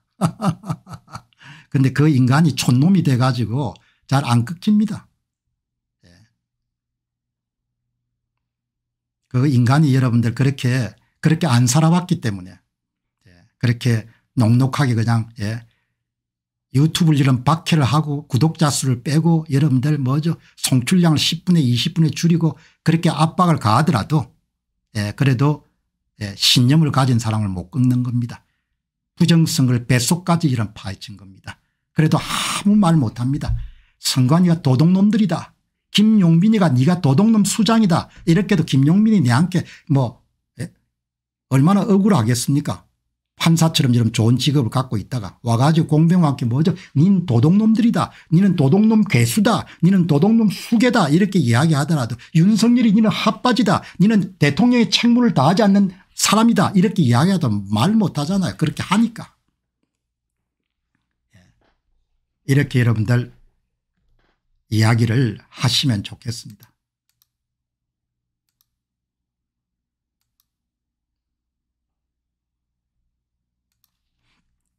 예. 여기 한 분이 뭐 그렇게 떠들어 봐야 뭐, 뭐 입만 아프다 이렇게 하는데 그렇지 않죠. 많은 사람들이 알게 됐지 않습니까 많은 사람들이 알게 된 겁니다. 예. 공병호 TV에 좀 설문조사 실시했을 때 이번 선거를 84% 보궐선거를 의심하지 않습니까 사람들이 다 알게 된 겁니다. 예. 그 저변 확대를 위해서 노력을 해온 겁니다. 세상 모릅니다. 지금은 다 폼 잡고 뭐죠. 예, 뭐 그렇게 하지만 나중에 뒤집어질지 어떻게 알겠어요. 알 수가 없는 거죠. 자 여러분께서 그 이런 사이로 총선을 다룬 도둑놈들 그리고 또 윤석열 정부에 치러졌던 전국 동시지방선거 예, 이런 책들을 좀 많이 후원해 주셔 가지고 이 부정선거를 막아야 안 되겠습니까 참 우리가 예, 한민족 역사 5천년에 한 70년 80년 정도를 정말 우남 이승만이란 걸출한 인물이 있었기 때문에 가능했고 뭐 이러니 저러니 하더라도 미국 미국 선교사들 미 군정의 힘이 있었기 때문에 오늘까지 온 거죠. 예. 한국인들 참 고마워해야 됩니다. 과분할 정도로 잘 살게 된 겁니다. 예. 모든 비극이라는 것이 감사함을 잃어버릴 때 그때 생겨나는 거지 않습니까 예. 여러분께서 좀 많은 힘을 더해 주시기 바랍니다. 자, 여러분 그러면 이제 지금부터는 또 차원을 그러니까 지금 부정선거라는 그런 현상을 놓고 이 현상의 실체와 본질을 파악하기 위해서 다양한 각도에서 이 문제를 접근하는 겁니다. 대단히 과학적인 방법입니다. 예. 그러니까 젊은 날 이렇게 체계적으로 훈련을 받고 그 이후에 계속해서 이렇게 예, 이런 섭작 이 글을 쓰는 작업을 계속 해왔기 때문에 이런 선거 부정 문제를 대할 때도 대단히 체계적으로 접근하는 겁니다. 예. 여러분 지금 이 문제를 보는 또 하나의 시각이 예, 조작값 기준이 아니고 사전투표자 기준으로 얼마나 조작했는가 예. 사전투표자 기준으로 여러분 희한하죠. 완전히 다르게 접근하더라도 비슷합니다. 사전투표에서 34% 조작한 거 아닙니까 그죠 예. 그런데 여기 보시게 되면 완전히 제야 전문가와 다른 각도로 접근해도 여러분들 거의 비슷합니다. 32.80% 예. 그러니까 사건의 실체적 진실을 밝히는데 다른 각도에서 여러분들 다 접근하더라도 약 32에서 34% 정도의 뭡니까 사전투표자 수를 조작한 겁니다. 사전투표 수를 부풀려 가지고 대부분을 뭡니까 더불어민주당의 진교훈이 함께 준 겁니다. 예. 완전히 다른데 32.80%인데 여러분들 지금부터 말씀드릴 내용은 사전투표자 수 34%를 조작했고 이것은 4.15 총선의 전국 평균의 25%보다 훨씬 더 심각한 겁니다. 예. 제야에서 그동안 많은 자료를 제공했던 그런 K님께서 깔끔하게 표를 정리해서 보내줬네요. 이번 선거입니다. 예. 여러분들 한번 자세히 보시기 바랍니다. 사전투표에서는 진교훈과 김태훈이 65 대 30이 된 겁니다. 거의 미친 수치입니다. 예. 그냥 사전투표를 그냥 내놓고 조작을 한 겁니다. 4.15 총선보다 훨씬 심각한 수준이니까. 당일 투표가 48.5%대 47%입니다. 사전 빼기 당일 차이값이 진교훈이 플러스 17.1% 김태우가 마이너스 16.4%입니다. 뭐, 뭐 말로 다 할 수 없는 그냥 조작을 한 겁니다. 조작을. 그러니까 여러분들이 보시게 되면은 4.15 총선 여러분들 기준으로 보시게 되면은 이게 17% 마이너스 17% 플러스 17%를 조작한 겁니다. 이, 이 뜻이. 예. 이게 여러분들 이게 4.15 총선의 마이너스 12.5% 플러스 12.5% 대하면은 25% 사전투표자 수의 25%를 조작했는데 예, 이걸 따르게 되면 마이너스 17% 플러스 17%를 조작한 겁니다. 그러면 34%를 사전투표 참가한 사람 수의 34%를 조작을 한 겁니다. 그래서 가장 화끈한 조작입니다. 이번 선거가. 역대 8번의 공직선거 가운데 가장 화끈한 저런 조작을 이번에 한 겁니다. 김용빈 노태학 지도체제가 역대 8번의 공직선거 가운데 가장 화끈한 사전투표 득표 조작을 한 겁니다. 어마어마한 조작을 한 겁니다. 김용빈이 부정선거의 대열에 당당히 들어선 겁니다. 김용빈이 여러분들 김용빈이 사법연수원 연수 원장 출신이고 이런 윤석열의 동기라는 사람이 들어가 가지고 부정선거 세력들하고 야합을 해 가지고 가장 화끈한 여러분들 득표수를 만들어낸 겁니다. 이거는 그 사람 인생에서 앞으로 씻을 수가 없을 겁니다. 아마 김용빈은 어 하고 이름 들어갔는데 그냥 완전히 당한 겁니다. 그냥 뭐 핫바지로 앞으로 세워가지고 얼굴 마담을 세워가지고 그냥 부정선거의 간판 스타로 만든 겁니다. 조혜주하고 김세안이하고 박찬진이 여러분들 비교할 수 없을 정도로 김용빈이 앞으로 공격을 당할 겁니다. 예. 역사의 죄인이 된 겁니다. 예. 한 집안의 아버지일 건데 부정선거의 수괴가 된 겁니다. 괴수가. 실질적 괴수인 겁니다. 예. 이렇게 여러분들 된 겁니다. 그런데 이제 이렇게 이제 우리가 이, 이 좋은 자료를 발표했는데 완전히 또 다르게 접근하는 분들이 이 선거 문제를 현장에서 이제 오랫동안 노력해온 분이 클린 선거 시민행동의 공동대표고 지난번에 이제 선거 부정 문제를 밝히기 위해 3구 대통령 선거에 출마했던 오건호 오건호 대표가 커뮤니티에 올린 내용은 예, 오건호 대표의 결론은 이겁니다. 사전투표 한 4만 표 한 것 같다. 조작을. 그런데 오건호 대표가 보기에 당일 투표지도 한 4천 장 쏘, 쏘셔 넣은 것 같다. 그래서 저는 예, 이 분석을 가지고 당일 투표에 대해서 뭐라고 이야기할 수 없기 때문에 예단을 안 내리는 겁니다. 예.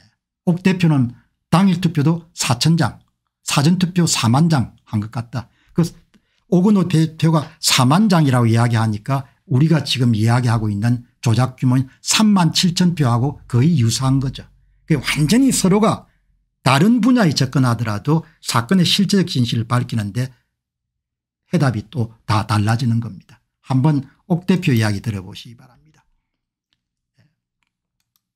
강서구청장 보궐선거 결과 분석 사전선거와 당일선거 투표 결과 차이가 더불당 진 교훈은 17.15% 너무 심하게 났습니다.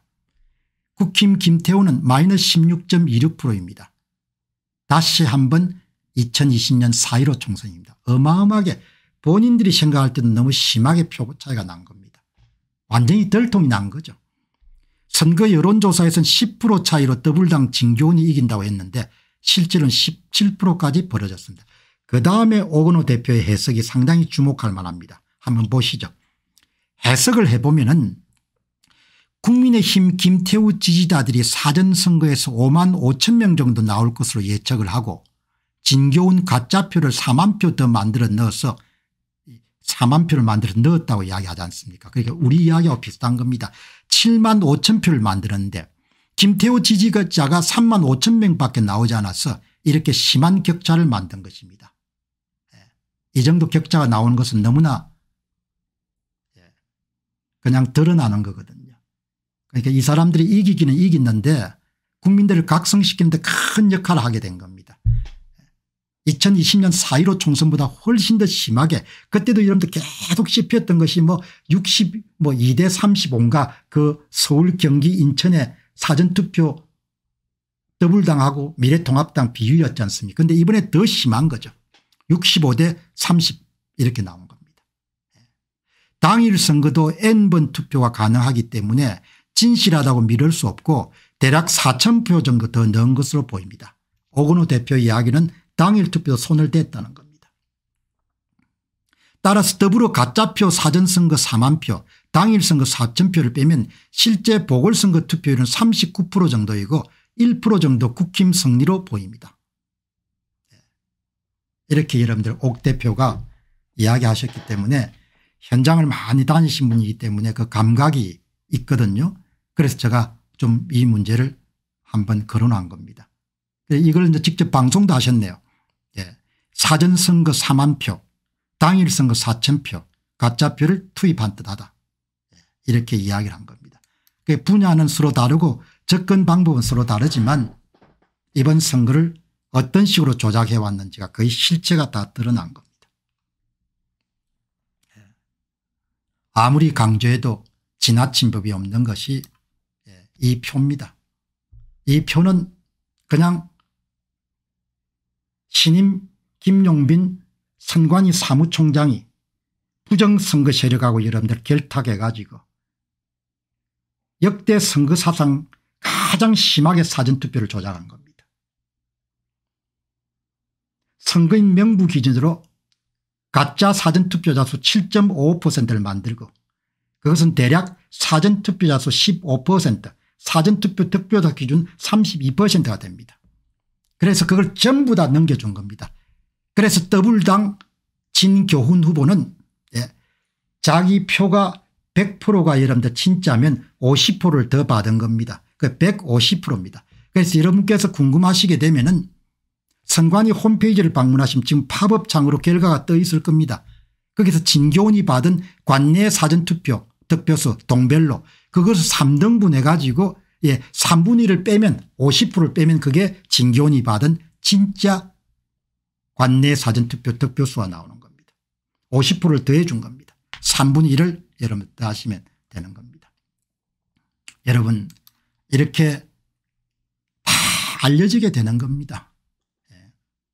1959년 신 김용빈 씨가 선관위의 이름 단기 필마로 들어가 가지고 저 양반이 결국은 얼굴마담 역할을 하게 될 것이다. 결국은 참 그렇게 해서 안 되는데 개인적으로 예, 참 안 됐다 이렇게 생각했는데 아니나 다를까 결국은 선거관리위원회 깊숙한 곳에 잠복하고 있는 선거 사기 세력들의 소나기에 여러분들 놀아난 거죠. 본인이 뭐 직접 조작을 하거나 그러지는 않았지 않습니까 지금 이 보좌진이나 이런 사람들이 모시는 분들이 김용빈 사무총장이 공병호 tv를 볼 수 있도록 그렇게 기회를 주시기 바랍니다. 더 악과 타협하지 않도록 날라갑니다. 네.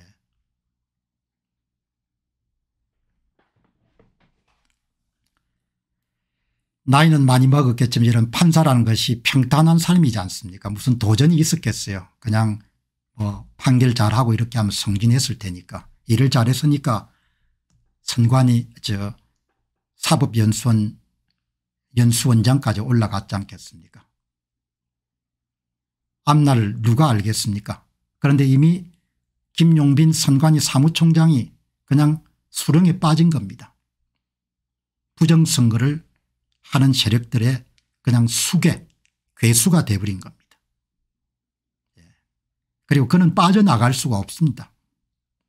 선거가 끝나고 여러분 이틀이 됐는데 그냥 여러분 어디까지 밝혀진가 뱃속까지 다 밝혀진 겁니다. 유령 사전투표자 수를 몇 표나 만들었는지 예, 그게 다 드러나게 된 겁니다. 3만 7천 표 정도를 쑤셔 넣은 다음에 그거를 더불당의 진교훈이한테 다 넘겨준 것이 다 드러나게 된 겁니다. 윤석열이 덮을 수는 있을 겁니다. 국힘당에 침구할 거는 있을 겁니다. 그러나 이 사실은 여러분들 날라갈 수 없는 겁니다. 숫자를 조작했기 때문에. 참 그렇게 해서 안 되는데 그 양반 입장에서 참 안 됐네요. 이렇게 여러분들 정리정돈을 하시면 좋겠습니다. 자 여러분들 물 한 금 마시고 여러분들 말씀을 좀 드리겠습니다.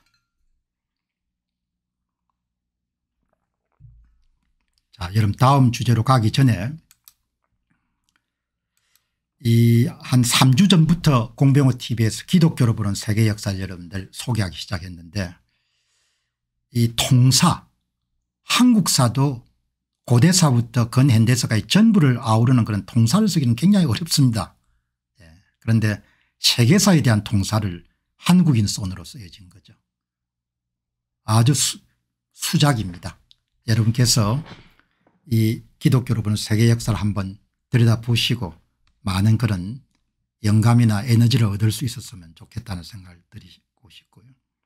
그 다음에 정말 참 여러분들 이 부정선거 운동을 규명하는 노력을 후원하는 데 여러분들 힘을 다한다고 생각하시고 이 선거 부정을 이렇게 과감하게 해친 여러분들 지금은 참 보통 명사처럼 보이지만 이런 책을 여러분 낼 때 얼마나 떨리겠습니까 저 친구들이 또 얼마나 나를 괴롭힐 건가 그렇겠지만 예, 결국은 지금은 뭐 어, 책을 냈구나 이렇게 생각하지만 도둑놈들이란 책을 냈으니까 얼마나 여러분들 예, 앞으로 있을 그런 파고를 걱정했겠습니까? 그러나 이 책들이 여러분 더 많이 날개를 달고 여러분 갈 수 있도록 여러분께서 이런 선거 부정에 관한 영상을 널리 퍼뜨리는 일을 하고 선거 부정을 해부한 이런 책들을 널리 퍼뜨릴 수 있는데 힘을 더해 주시면 그러면 참 한국이 선거 부정으로부터 헤어날 수 있는 그런 가능성을 우리가 좀 더 높일 수 있지 않겠느냐 그렇게 생각합니다. 자 여러분들 이 보시면은 주제를 한번 또 다루고 전산 조작을 밥 먹듯이 하는 거죠. 예. 그렇기 때문에 선관위는 4.15 총선 이후에 아무것도 바뀐 게 없습니다. 김세한 씨가 물러나고 박찬진 씨가 물러나고 뭐 송홍립 씨인가 뭐 하는 사람이 물러나고 그 정도지만 선관위 내부의 인적인 쇄신은 전혀 이루어지지 않는 상태입니다. 선관위 내부의 은밀한 곳에 더불어민주당하고 여러분들 손을 잡고 국가를 탈취하기 위한 그런 세력들이 압력을 하고 있는 거죠. 예. 국민들이 6.25 전쟁에 필적할 정도의 전쟁이라는 생각을 하고 나라 일을 하는 사람들이 그것을 해결해 줄 수 없으면 국민들이 나설 수밖에 없는 겁니다. 윤석열이 여러분들 그 의무를 다하지 않으면 윤석열 갈아치울 수도 있는 거죠. 뭐. 예.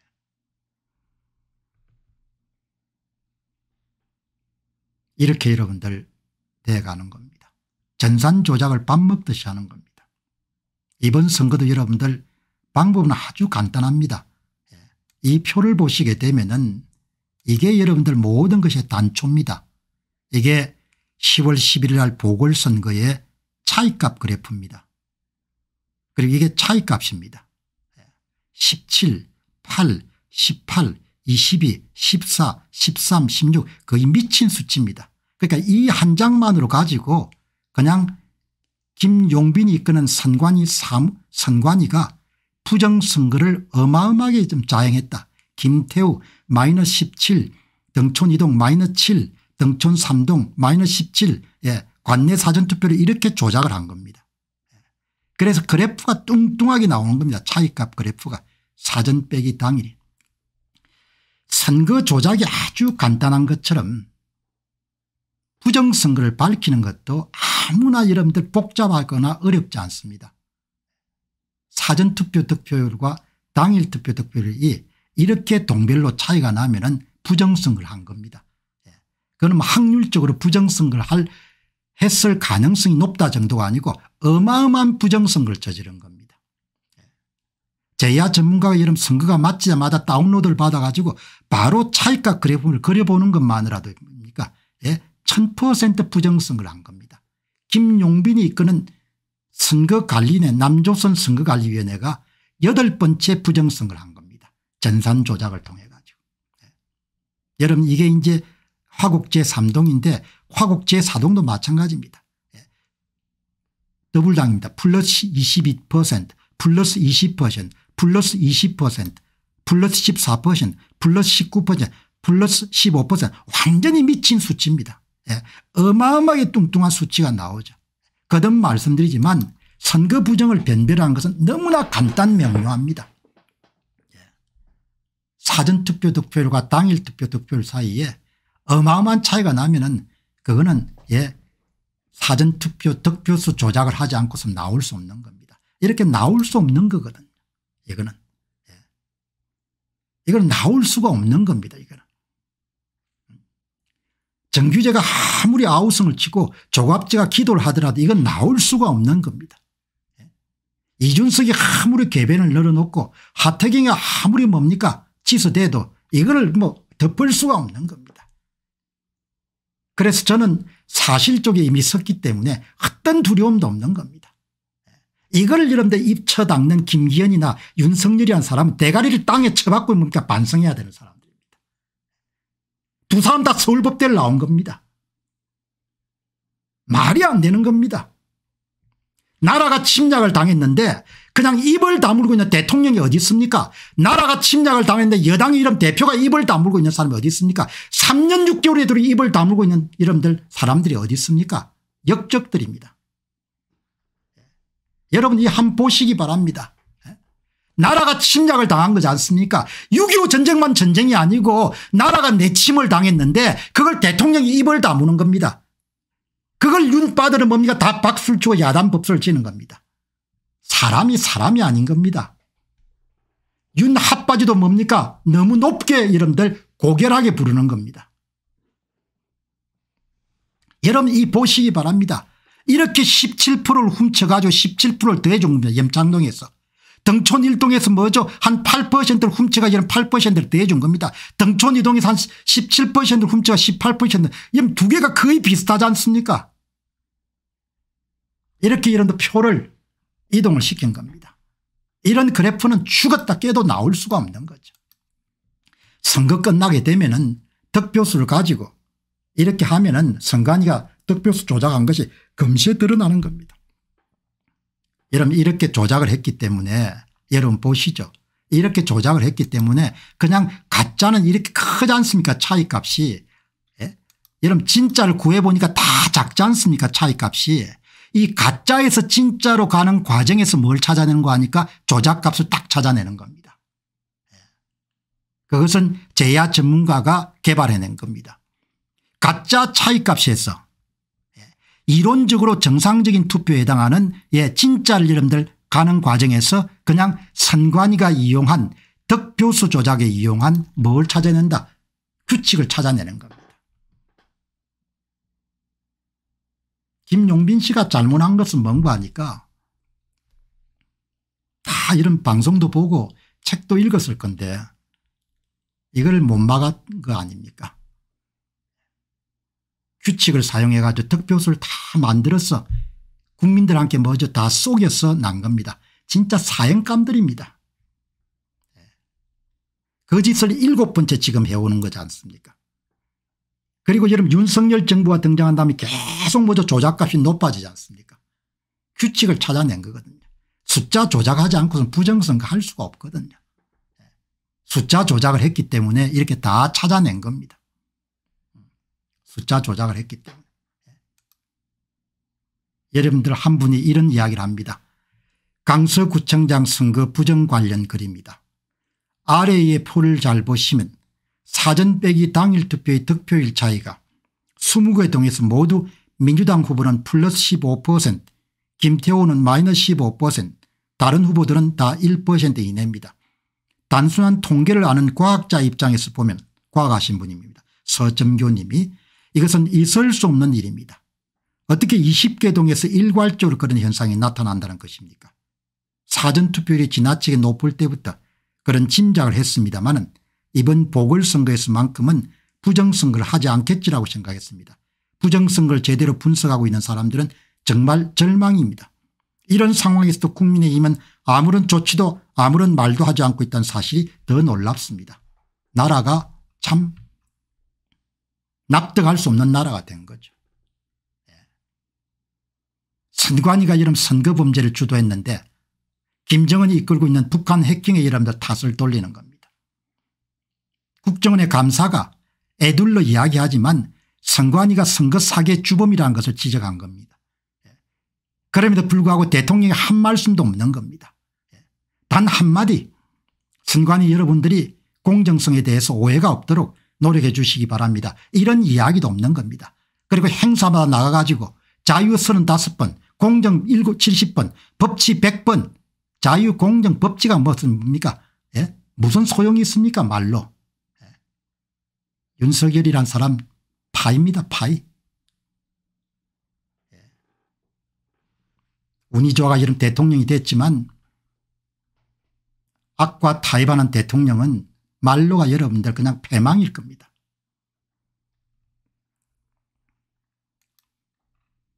인생 그렇게 사는 게 아니죠. 그런데 여러분들 여기 한 분이 훨씬 더 민경욱 tv의 저 페이스북에 좋은 글을 남겼기 때문에 같이 한번 읽어보면 은 다른 분이 이번 강서 구청장 보궐선거 문제를 득표수 조작이라는 측면에서 어떻게 접근하고 있는가라는 부분을 또 다른 전문가 의견을 이름 수용할 수 있는 겁니다. 2023년 강서구청장 보궐선거 결산 콩콩님입니다. 선거관리위원회 홈피에 올라온 자료를 가지고 계산을 해봤습니다. 2차로 확인한 내용을 정리해 보면 이러합니다. 누구나 사용 가능한 엑셀로 확인했습니다. 완전히 다른 분야에서 다른 업무를 하시는 분이 이번은 강서구청장 선거에 선관위 발표 후보별 득표수를 가지고 분석한 결과를 이야기하는 겁니다. 예. 제 방송에 공정성에 대해서 힘을 더하기 위해 가지고 다양한 분들을 모실 수는 없기 때문에 다양한 분들이 남긴 절제된 글을 보는 겁니다. 첫째 사전투표 투표자 수는 8회 지방선거 대비 2016년입니다. 4만 1705명이 증가한 것으로 보이며 당일 투표 투표자 수는 2만 8천여 명이 감소한 것으로 보입니다. 이 4만 1705명 가운데 대부분이 더블당하게 넘어간다는 겁니다. 그게 이번 선거의 핵심입니다. 2016년 8회 전국 동시지방선거에 대비해서 4만 1705명이 증가한 겁니다. 이 가운데 대부분이 사전투표장을 찾지 않은 유령 사전투표자 수라는 겁니다. 사전투표장을 찾지 않는 가짜 사전투표자 수를 선거관리위원회가 전산적으로 만든 겁니다. 통합선거인 명부를 조작해 가지고 유령 사전투표자 수를 예, 3만 7천에 4만 정도를 만들어낸 겁니다. 더불어민주당 진교훈은 강서구의 모든 투표구의 사전투표에서 투표자가 8회 2016년 지방선거보다 늘었고 그 합계가 3만 7,633명입니다. 2023년에 늘어난 사전투표자 수 90% 이상이 모두 더불어민주당 진교훈 후보에 투표했다는 기록입니다. 거의 전부가 뭐죠 2010, 2022년 6월 1일 전국 동시지방선거 강서구청장 선거 때 비해 가지고 사전투표자 수가 이분 말씀은 4만 1705명이 늘어났는데 거의 대부분이 90% 이상이 예, 누가 함께 이런 표를 던졌다 더불당의 진교훈 함께 표를 준 겁니다. 이것은 실로 놀라운 결과입니다. 선관위 홈피 자료에 의하면 전년 대비 사전투표자 수가 4만 명 정도가 늘어났는데 이 가운데 90% 이상이 모두 더불어민주당 진경훈 후보에 투표한 것입니다. 특히 김태우 후보와 거의 비등한 투표율을 보여준 더불어민주당 2016년 후보인 김성현 후보와 다르게 모든 투표구에서 더불어 스코, 더블 스코어 이상으로 사전투표를 앞서는 결과를 보여줍니다. 65대 뭐 32 이겁니다. 4.15 총선보다 훨씬 심하게 조작한 겁니다. 판사 출신 김용빈 선관위 사무총장이 부정선거의 수괴가 된 겁니다. 괴수가 된 겁니다. 나는 그가 역사적 단죄를 받을 것으로 봅니다. 이거는 용서할 수 없는 겁니다. 선관위 계획을 위해서 윤석열 이름이 임명한 김용빈이란 1959년에 서울법대 출신의 사법연수원 원장 출신이 이 김용빈이 들어가 가지고 역사상 최고치 이름들 조작을 한 겁니다. 김용빈이 이름 아들 딸이 있으면은 아버지한테 좀 전해 주시기 바랍니다. 밑에 애들은 다 뭐죠 예, 이용해 먹기에 바쁠 때니까. 김태우 후보는 모든 투표계에서 투표자가 줄었는데 당일 투표에서도 크게 투표수가 줄었고 사전투표는 대부분의 그래 투표수가 줄었습니다. 예, 마이너스가 나온 거죠. 예, 여러분 그거 예전에 보셨죠. 예, 한번 더 이런 한 번 더 보죠. 예, 그거 예, 모든 곳이 투표자 수가 다 줄어든 겁니다. 예, 이거 아주 중요한 내용이니까 예. 예, 이거 아 이거죠 이거 이거 가만 계시죠.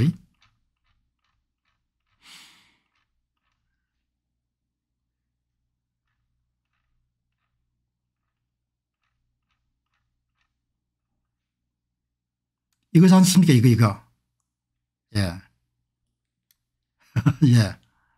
여러분 이거 보시기 바랍니다. 예. 첫 번째 시간에 말씀드린 건데 염창동 관내 사전투표가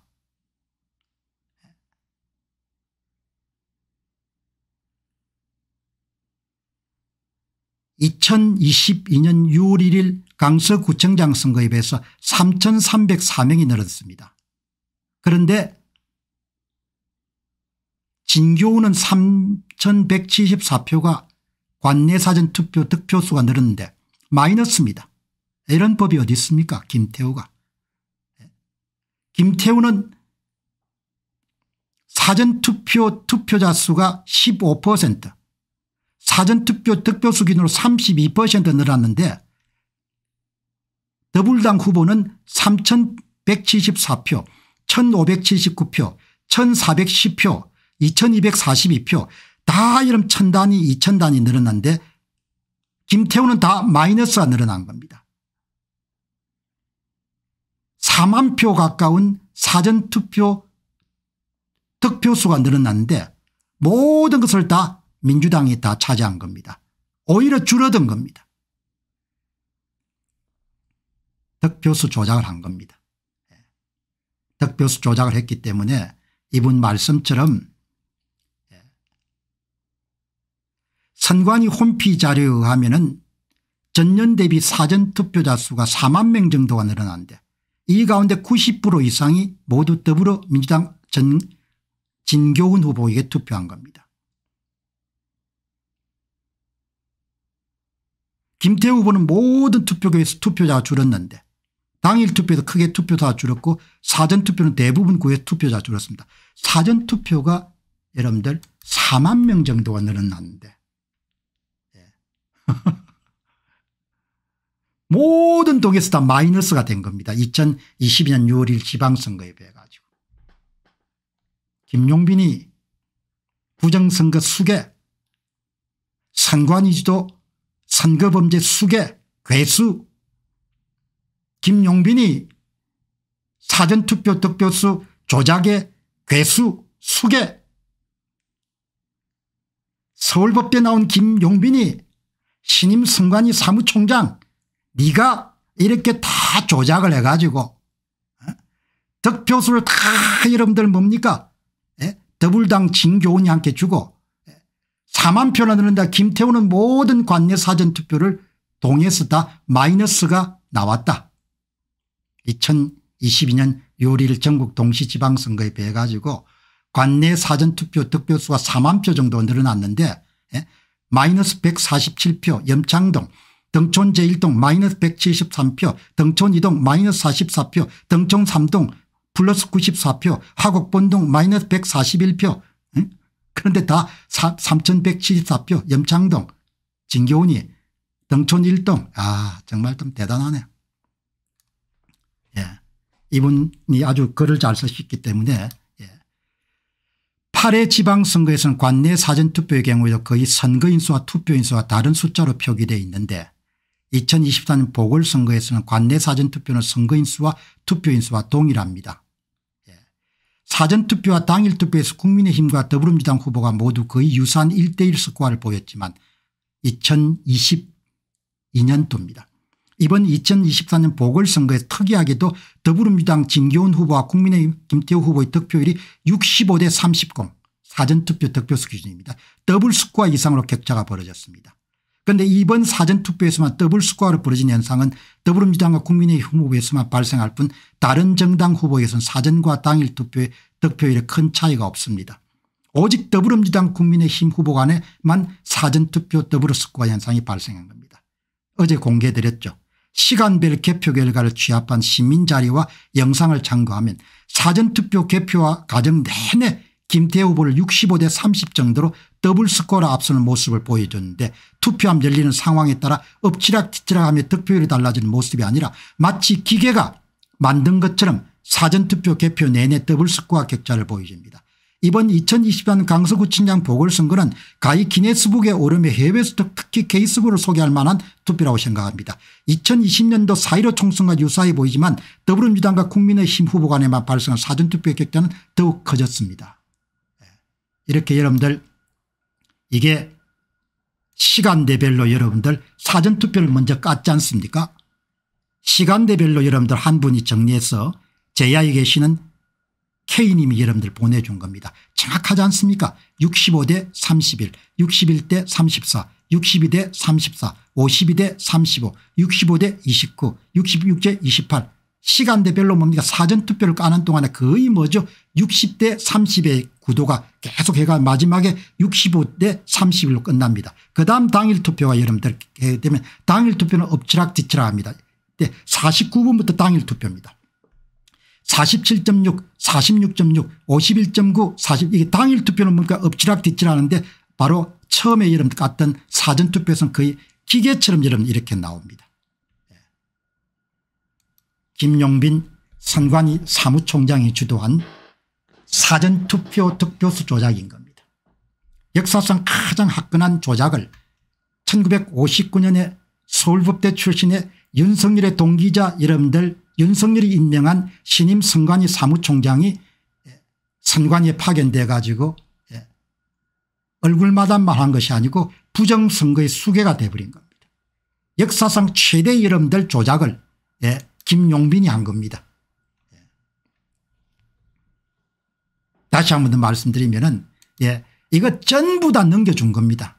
예, 선거 선관위의 선거인수 기준으로 7.5% 사전투표자 개수로 15% 사전투표 득표수 기준 한 38%로 새로 만든 가짜 투표자 수 가짜 투표자 수의 거의 전부를 예, 누구한테 줬는가 하니까 더불당 후보한테 다 넘겨준 겁니다.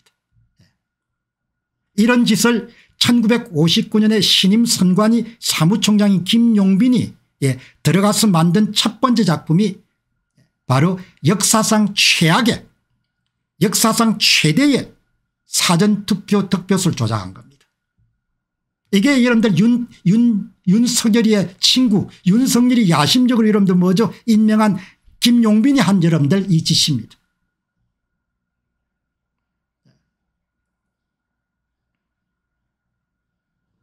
이런 짓을 여러분들 해가지고 예.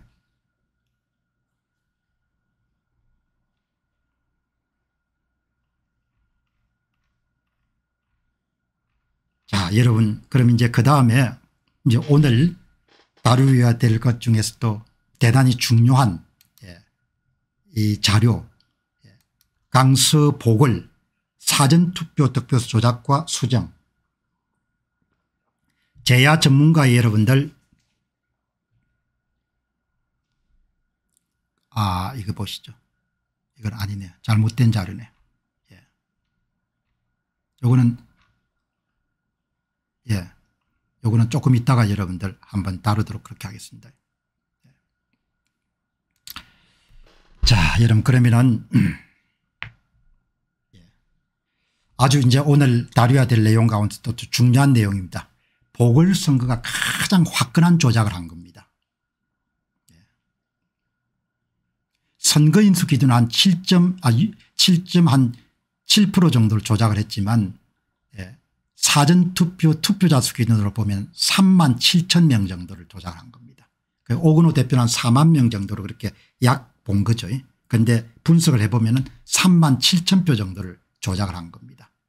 3만 7천 표. 여러분 이 3만 7천 표 조작을 아주 그냥 세세하게 한번 보도록 하겠습니다. 3만 예. 7천 표를 어떻게 조작을 했는지. 예. 그러니까 이제 오늘 방송 중에서도 특히 이 표 도둑질의 실상을 한번 우리가 정확하게 정리하는 겁니다. 예. 이 부분이 여러분 특별히 중요하니까 중후반부에서는 아주 중요한 부분이니까 여러분들이 시간 되시면 한번 예, 여러분들 이게 보시죠. 이게 3만 7천 표를 어떻게 여러분들 부풀렸는가라는 부분을 지금 우리가 살펴보도록 그렇게 하겠습니다. 여러분 이 테이블이 아주 중요합니다. 예, 이 테이블 이 테이블이 강서 보궐선거 득표수 조작 상태입니다. 이게 뭘 이야기하는 거 하니까 선관위가 발표한 득표수를 기준으로 해가지고 분석한 겁니다. 예. 이 보시죠. 선관위가 발표한 득표수가 사전투표 득표율이 22.92%입니다. 이게 여러분 가짜라는 겁니다. 이게 사전투표 득표수를 조작하기 위해 가지고 선관위 친구들이 이 가짜 사전투표 득표수를 만든 겁니다. 예. 여기에 뭐가 포함되어 있는 거 하니까 유령 사전투표 득표수가 포함되어 있는 겁니다. 이걸 여러분들 발표를 한 겁니다. 22.92% 예. 이거는 언론이 발표한 뭐 22.64%는 거소선상 같은 게 포함이 안 됐기 때문에 거의 22% 역대 사상 최고의 사전투표 득표율을 기록했습니다. 이게 이름 다 반가하니까 사기라는 겁니다. 대한민국 선거관리위원회가 국민을 상대로 해가지고 사기를 친 겁니다. 22 몇 퍼센트가 사기라는 겁니다. 누구를 당선시키기 위해서 더불당 후보를 당선시키기 위해서 사기를 친 겁니다.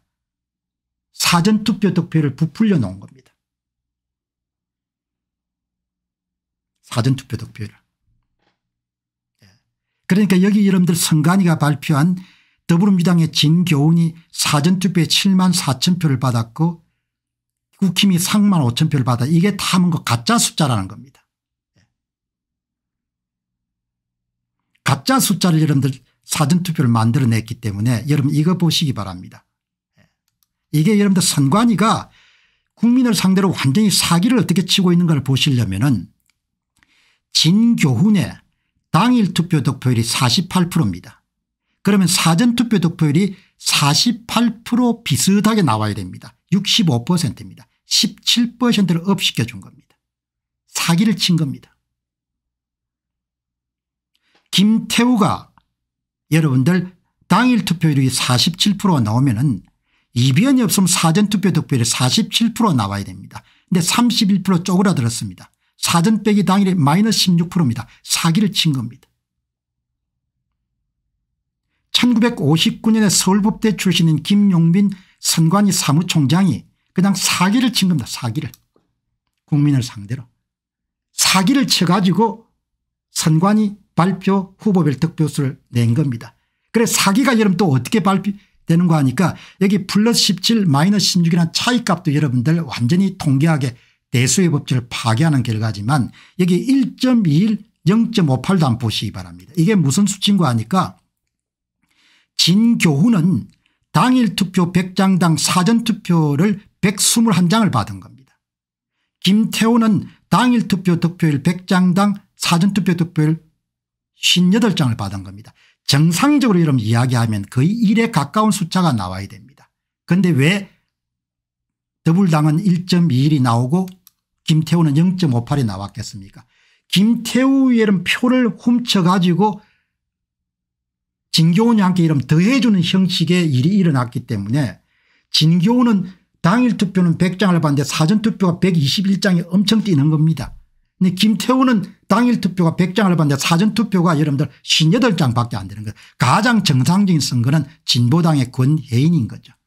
사전투표 당일 투표 100장당 사전투표 100장이 나온 겁니다. 이게 조작 증거인 겁니다. 숫자 조작하면 벗어날 수가 없습니다. 남조선 선관위가 여러분들 예, 표도둑질을 한 것이 그냥 그대로 드러나는 겁니다. 그러니까 선관위가 발표한 후보별 득표수인 진교훈 사전투표 득표수 7만 4천 장 김태우 3만 5천 장이 다 여러분들 뭐죠 도둑질한 표가 포함이 되어 있는 겁니다.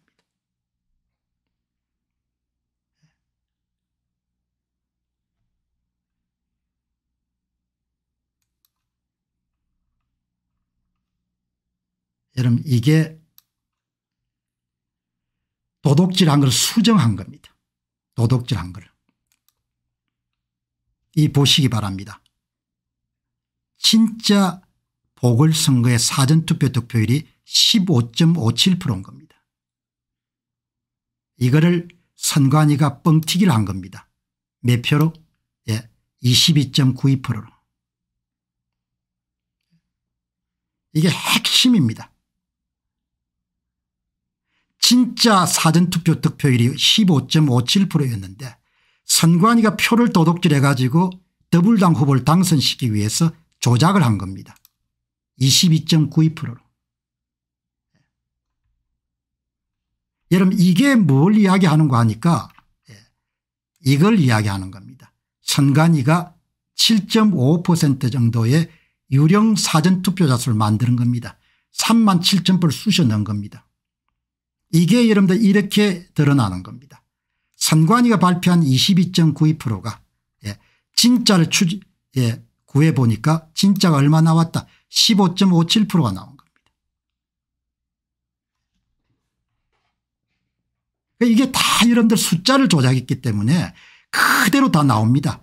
선관위가 표를 도둑질하 이런 발표한 예, 선관위 발표 후보별 득표수가 다 이렇게 나온 겁니다. 예. 이 여러분들 근데 이 득표수를 만들려고 하니까 예.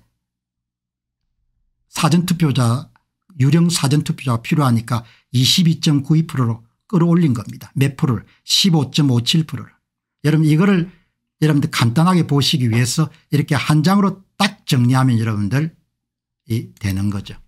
예. 이거 보시기 바랍니다. 이게 오늘 여러분들 방송의 하이라이트입니다. 예. 여러분들 보시면 됩니다. 예. 이게 여러분들 진짜입니다. 15.57. 더불당 후보를 당선시키기 위해서 선거관리위원회의 사기 세력들이 사전투표율을 조작한 겁니다. 선거인수 기준으로 7.35%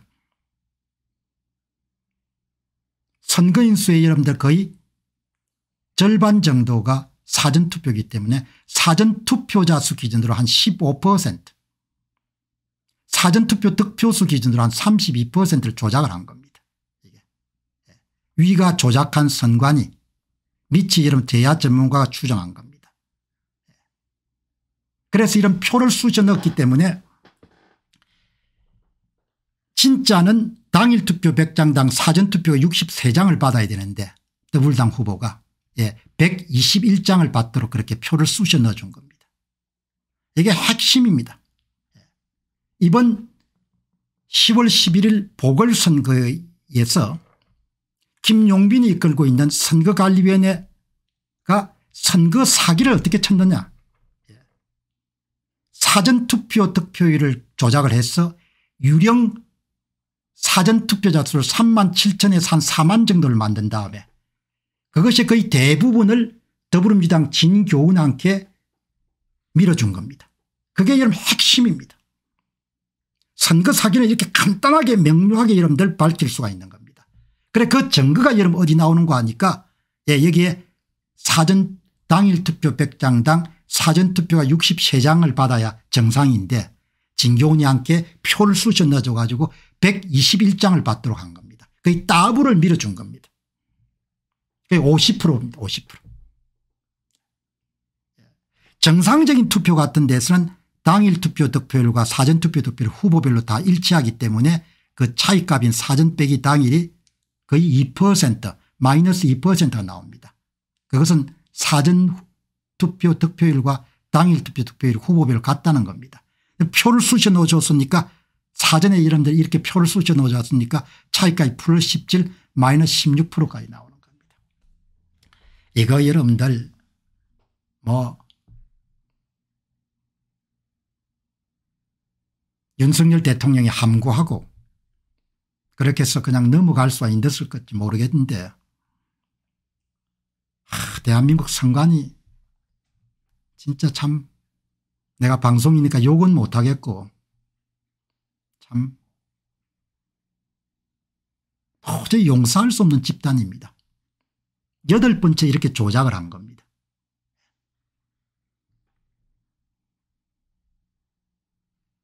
여러분 이거는 제 나이도 있고 제가 관직에 대한 사심이 전혀 없는 사람이고 예, 모든 걸 다 내려놓은 사람입니다. 예, 그렇기 때문에 그냥 숫자가 말하는 바를 제가 메신저 역할을 하는 겁니다. 예, 이 조작의 이해가 가장 크게 갈려있는 조국의 동포들한테 그냥 제가 보고를 하는 겁니다. 조작을 해서 이렇게 선거를 다 만진 거다 이야기. 대한민국 선거관리위원회가 특정 정당과 야합을 해가지고 밥 먹듯이 물 마시듯이 여러분들 선거를 조작해서 이렇게 드디어 11월 11일 보궐선거에서는 그냥 역사상 최대의 뭡니까 득표수 조작을 한 겁니다. 그냥 이 한 장으로 뭡니까 이번 선거가 어떻게 이루어졌는지가 그냥 그대로 나오는 겁니다. 예. 여러분 이걸 득표수 기준으로 환산해 보시게 되면 이렇게 나옵니다. 예. 이 오차가 좀 있죠. 3만 7천 표인데 뭐 그러나 그거는 계산하는 과정에서 좀 오차가 뭐 100표 몇 표 있을 수 있습니다. 예. 이 보시기 바랍니다. 김태우는 표를 쑤셔 넣은 적이 없으니까 사전투표가 거의 똑같습니다. 3만 9,201표에서 7만 4,943표로 예, 표를 더해 준 겁니다. 이게 핵심입니다. 3만 7천에서 4만 표 정도를 예, 유령 사전투표자 수를 확보한 다음에 거의 전부를 뭡니까 더불어민주당의 진교훈함께 더해 준 겁니다. 이게 윤석열이 야심적으로 이런데 임명한 신임 선관위 김용빈이라는 사람이 들어가 가지고 예, 사전투표 조작을 이렇게 야무지게 하는데 그냥 부역을 한 겁니다. 나는 이 인간들이 처벌받는 날이 오기를 학수 기대합니다. 예. 이 인간들이 이런 활기를 치고 처벌을 받지 않으면 나라가 망할 겁니다. 예. 여러분들 이렇게 이런 표를 조작을 한 겁니다. 그러니까 이 표 두 개만 딱 보면은 그냥 여러분들 뭐죠 그러니까 방송 가운데서도 여러 가지가 있는데 오늘은 첫 번째 예, 첫 번째 말씀드렸던 이 자료 예, 이게 그냥 압권입니다. 예. 제야 전문가 여러분들 이야기를 듣고 다 소화한 다음에 예, 오랫동안 글을 쓰는 능력을 이런 배양을 했기 때문에 이런 것을 보통 시민들에게 잘 전달하기 위해서 테이블을 어떻게 만드는지 딱 이런 틀이 잡혀 있지 않습니까 이 표입니다. 3만 예. 7779표 정도를 만들었고 조작 규모는 선, 선거관리위원회 선관위 여러분들 선거인수 기준으로 7.5% 사전투표자 기준으로 15% 사전투표 득표수 32.80%를 조작을 했다. 그리고 거의 전부를 누구에다 더불당 후보한테 넘겨줬다. 그게 그래서 더불당 후보가 갖고 있는 선관위가 발표한 후보별 득표에서 더불당 후보의 득표수가 다 가짜다. 진교훈이 받은 사전투표 득표수를 세 등분 나누어 가지고 한 등분을 빼면 그게 진짜다. 50%를 더해줬기 때문에 150%가 지금 돼 있는 거다. 50%를 빼면 은 여러분들이 직접 들어가서 한번 계산해 보시게 되면 그냥 50%를 빼면 세 등분 여러분들 그 대, 고기 큰 거 한 세 등분 나누어 가지고 두 등분 냉장고 안에 넣고 한 등분 빼자, 빼면 되지 않습니까 그 한 등분을 버리게 되면 진짜가 되는 겁니다. 더블당 50% 보너스 더불당 진짜 득표 선관위 발표 더불당 득표 수 곱하기 3분의 1인 겁니다. 이런 제약을 이런 제약을 서울법대를 나오고 사법연수원 원장을 지냈던 인간이 가가지고 한 첫 작품입니다.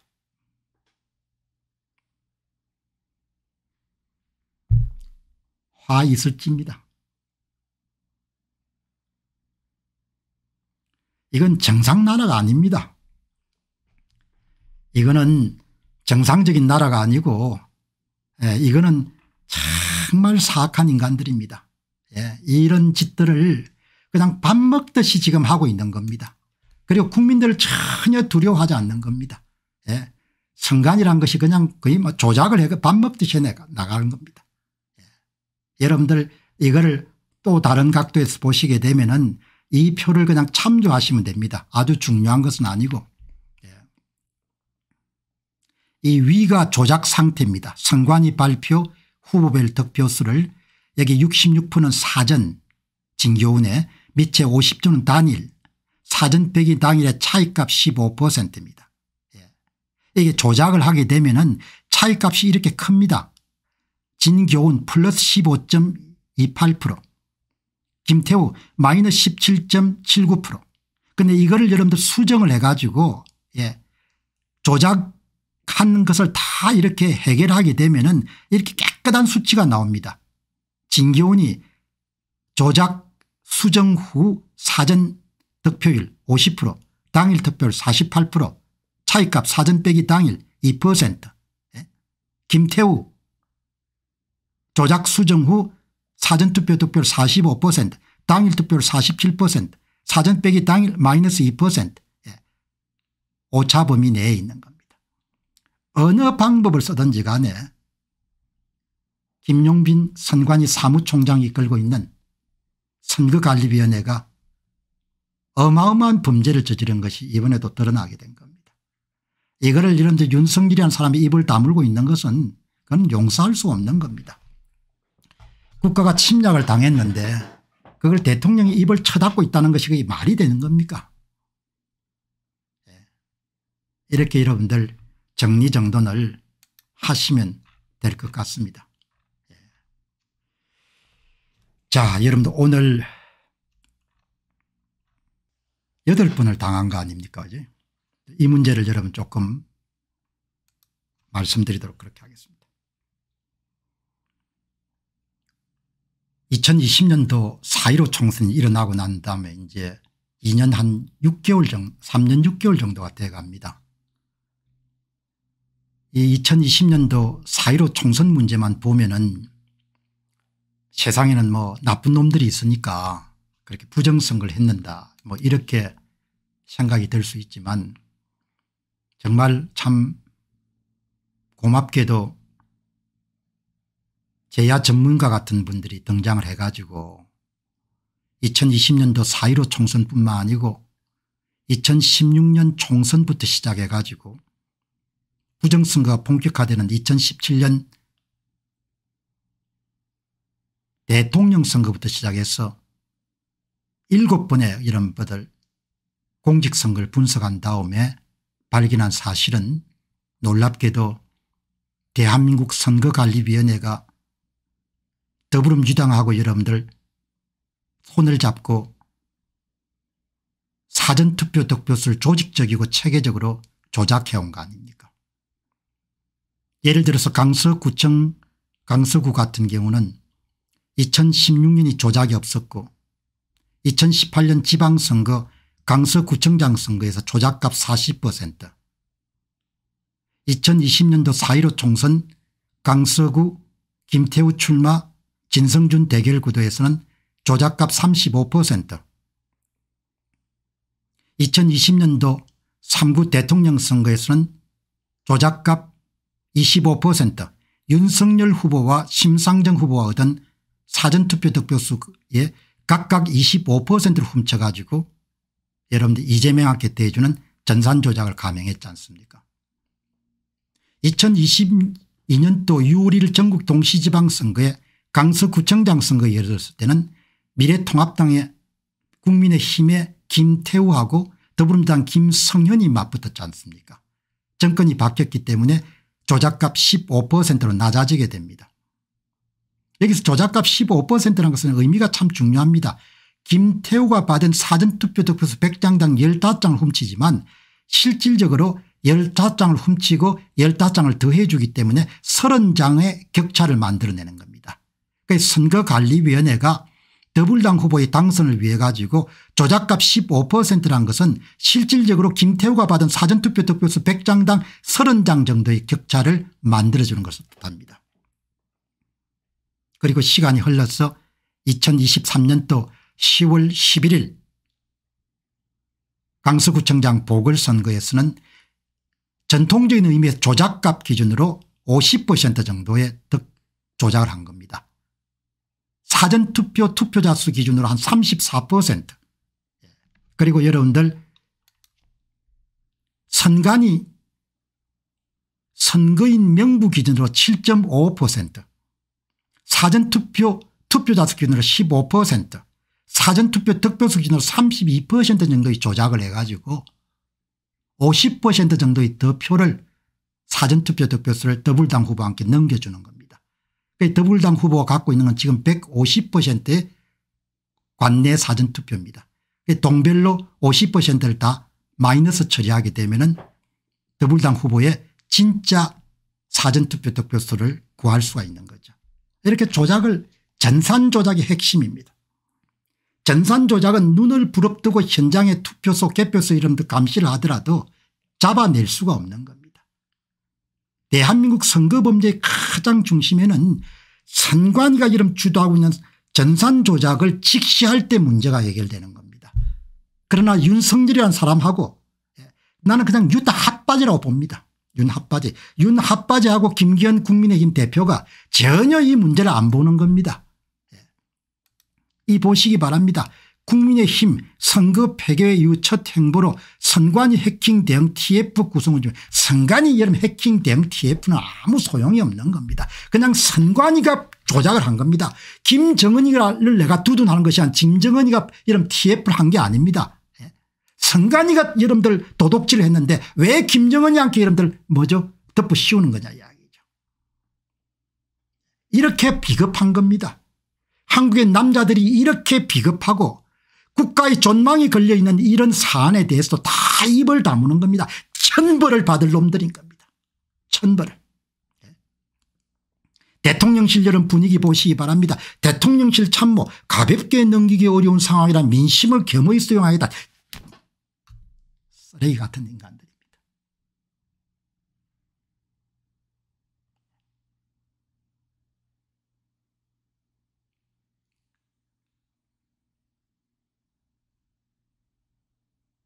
국힘당이 당대표 경선과 대선 후보 경선 과정에서 선관위 측의 도움을 받았을 가능성이 매우 높습니다. 그렇기 때문에 본인들도 여러분들 책을 잡혀 있기 때문에 이것을 까지 못하는지 모르겠는데 이 국민들이 이제는 더 이상 참아서는 안 될 것 같아요. 결국은 여러분들 결국은 이렇게 작은 악을 범하고 그것을 덮기 위해서 노력하는 과정에서 결국 한국은 거의 뭡니까 일당 지배체제 더블당 하에서 지배를 받는 체제로 갈 수밖에 없는 겁니다. 그런 길로 지금 나라가 가고 있는 겁니다. 이게 여러분들 정말 보통 일이 아닙니다.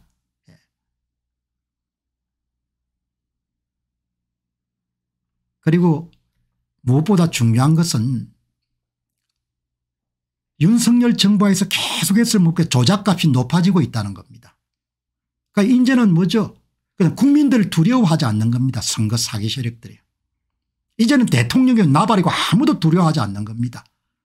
이번처럼 이런 조작을 한 것은 뭐 저는 최대한 40% 정도까지 조작할 것이다 이렇게 생각했지만 조작가 기준으로 50%까지 육박할 줄은 꿈에도 생각을 안 했습니다. 한 40%는 조작 안 하겠냐 이렇게 봤습니다만 20%만 넘으면 그냥 무난히 당선될 수가 있었거든. 그걸 40% 하는 겁니다. 이렇게 여러분들 가는 겁니다. 이 문제 여러분 나라 일하는 사람들의 전혀 기댈 수가 없는 것 같아요. 이 사람들은 충분히 봤고 뭐 윤 대통령에 대해서 기대감을 갖고 있는 사람들은 아직도 다시 한번 그렇게 하겠지만 이미 다 끝난 게임입니다. 예. 이 양반이 갖고 있는 성품이나 자라온 과정이나 지금까지 해온 것을 보게 되면 아무것도 할 수가 없어요. 결국 이제 이렇게 되면 은 손을 놓은 상태에서 총선을 대표할 것이고 그다음에 이런 대통령 선거를 야무지게 조작을 해가지고 넘, 넘길 겁니다. 무슨 뭐 앞으로 뭐 몇백 석을 차지한다 그럼 말이 안 되는 겁니다. 그러면 이제 그 다음에는 한국이 더불어민주당 지배 일당 지배 체제를 가는 겁니다. 선거를 장악하고 있는데 어떻게 여러분들 정권을 바꾸겠습니까 참 여러분들 대한민국의 식자청들이나 지도층들이 제가 딱딱 한 것은 논리적으로 한번 생각을 해봐라. 어? 다음에 총선 이기면 계획을 한다는데 총선을 어떻게 이기노 무슨 수로 이기노 10월 10일 날 보궐선거를 조작각 기준으로 한 50%를 조작해가 여러분들 성부를 만드는데 2024년 총선을 어떻게 이기노 2027년 대선을 어떻게 이기노 결국은 뭡니까 좌파 장기 집권이 고착화 된다는 겁니다. 설마 설마 하는 분들이 있겠죠. 미래 일이니까 누구도 예단할 수 없겠지만 저는 그렇게 믿는 겁니다. 좌익들이 결국은 한국을 탈취하는구나. 예. 조선 사람들이 결국은 부정선거에 대해서 침묵하고 비겁함으로 일관한 그 끝에 예. 결국은 나라를 넘기는구나. 너무나 억울한 것은 나라가 넘어가는 것이 뻔히 보여가지고 이렇게 먼저 아우성을 치더라도 나라가 넘어가는 겁니다. 여러분 한번 생각해 보시죠. 2024년 4월 10일에 총선을 어떻게 이깁니까 아 이길 수 있습니다. 정신승리로 전산 조작을 해가 뭡니까 조작감만 집어넣으면 다 승부가 이름 결정되는데 무슨 수로 이기노 아 그래도 우리 윤석열이 대통령이 잘할 겁니다. 그래서 윤석열이 잘해가지고 윤석열 치하에 세 번 정도 부정선거가 일어났냐 아 그래도 문제 없을 겁니다. 세 번 부정선거가 일어났는데 두 번 더 부정선거가 안 일어나겠냐 사람이 사람은 낭만적으로 해야 되지만 세상사를 그렇게 생사가 갈린 문제를 낭만적으로 생각하거나 대충 생각하거나 그렇게 해서 안 되는 거죠. 나라가 흥하고 만화하는 일이고 백성들이 독재체제에 떨어지냐 안 떨어지냐 문제인 겁니다. 그래서 나는 참 윤석열 대통령에 대해서 오랫동안 입을 다물었지만 참 야속한 사람입니다. 그래서 경상도 속담이 그대로 떠오르는 겁니다. 허우대가 멀쩡한 놈들 가운데 예, 실속 있는 놈이 없다 이야기죠. 예. 허우대가 멀쩡한 놈 가운데 일 똑바로 처리한 놈이 드물다는 것이 옛날 어른들의 이야기입니다. 예.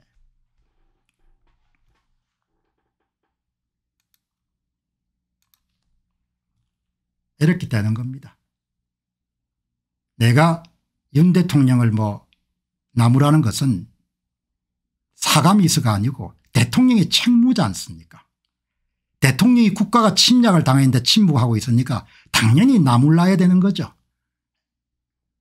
여러분들 대통령이 국가의 이름 국가 통, 군 최고 통수지 않습니까 외침이든 내침이든 적으로부터 침략을 당한 거지 않습니까 그걸 어떻게 침묵하냐 이야기죠. 본인 치하에서 어떻게 세 번이나 부정선거가 일어나냐 이야기죠. 본인 치하에 세 번이나 부정선거가 일어난 거 아닙니까? 갈수록 부정선거가 심해지는데 본인이 입 닥치고 있는 거 아니에요.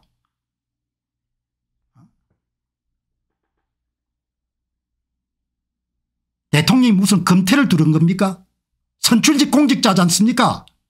헌법이 이름 규정한 대로 대통령이 책무를 다해야 될 거 아닙니까? 헌법을 수호하고 국가 영토 이름들 보존하는 것이 대통령이 해야 될 일이지 않습니까 무슨 내가 사감을 가지겠습니까 그 양반을 만나가지고 내가 무슨 뭐 덕을 보겠어요 내 이야기가 세상을 살아보니까 허우대가 멀쩡한 놈 치고 일 제대로 하는 놈이 없더란 이야기입니다.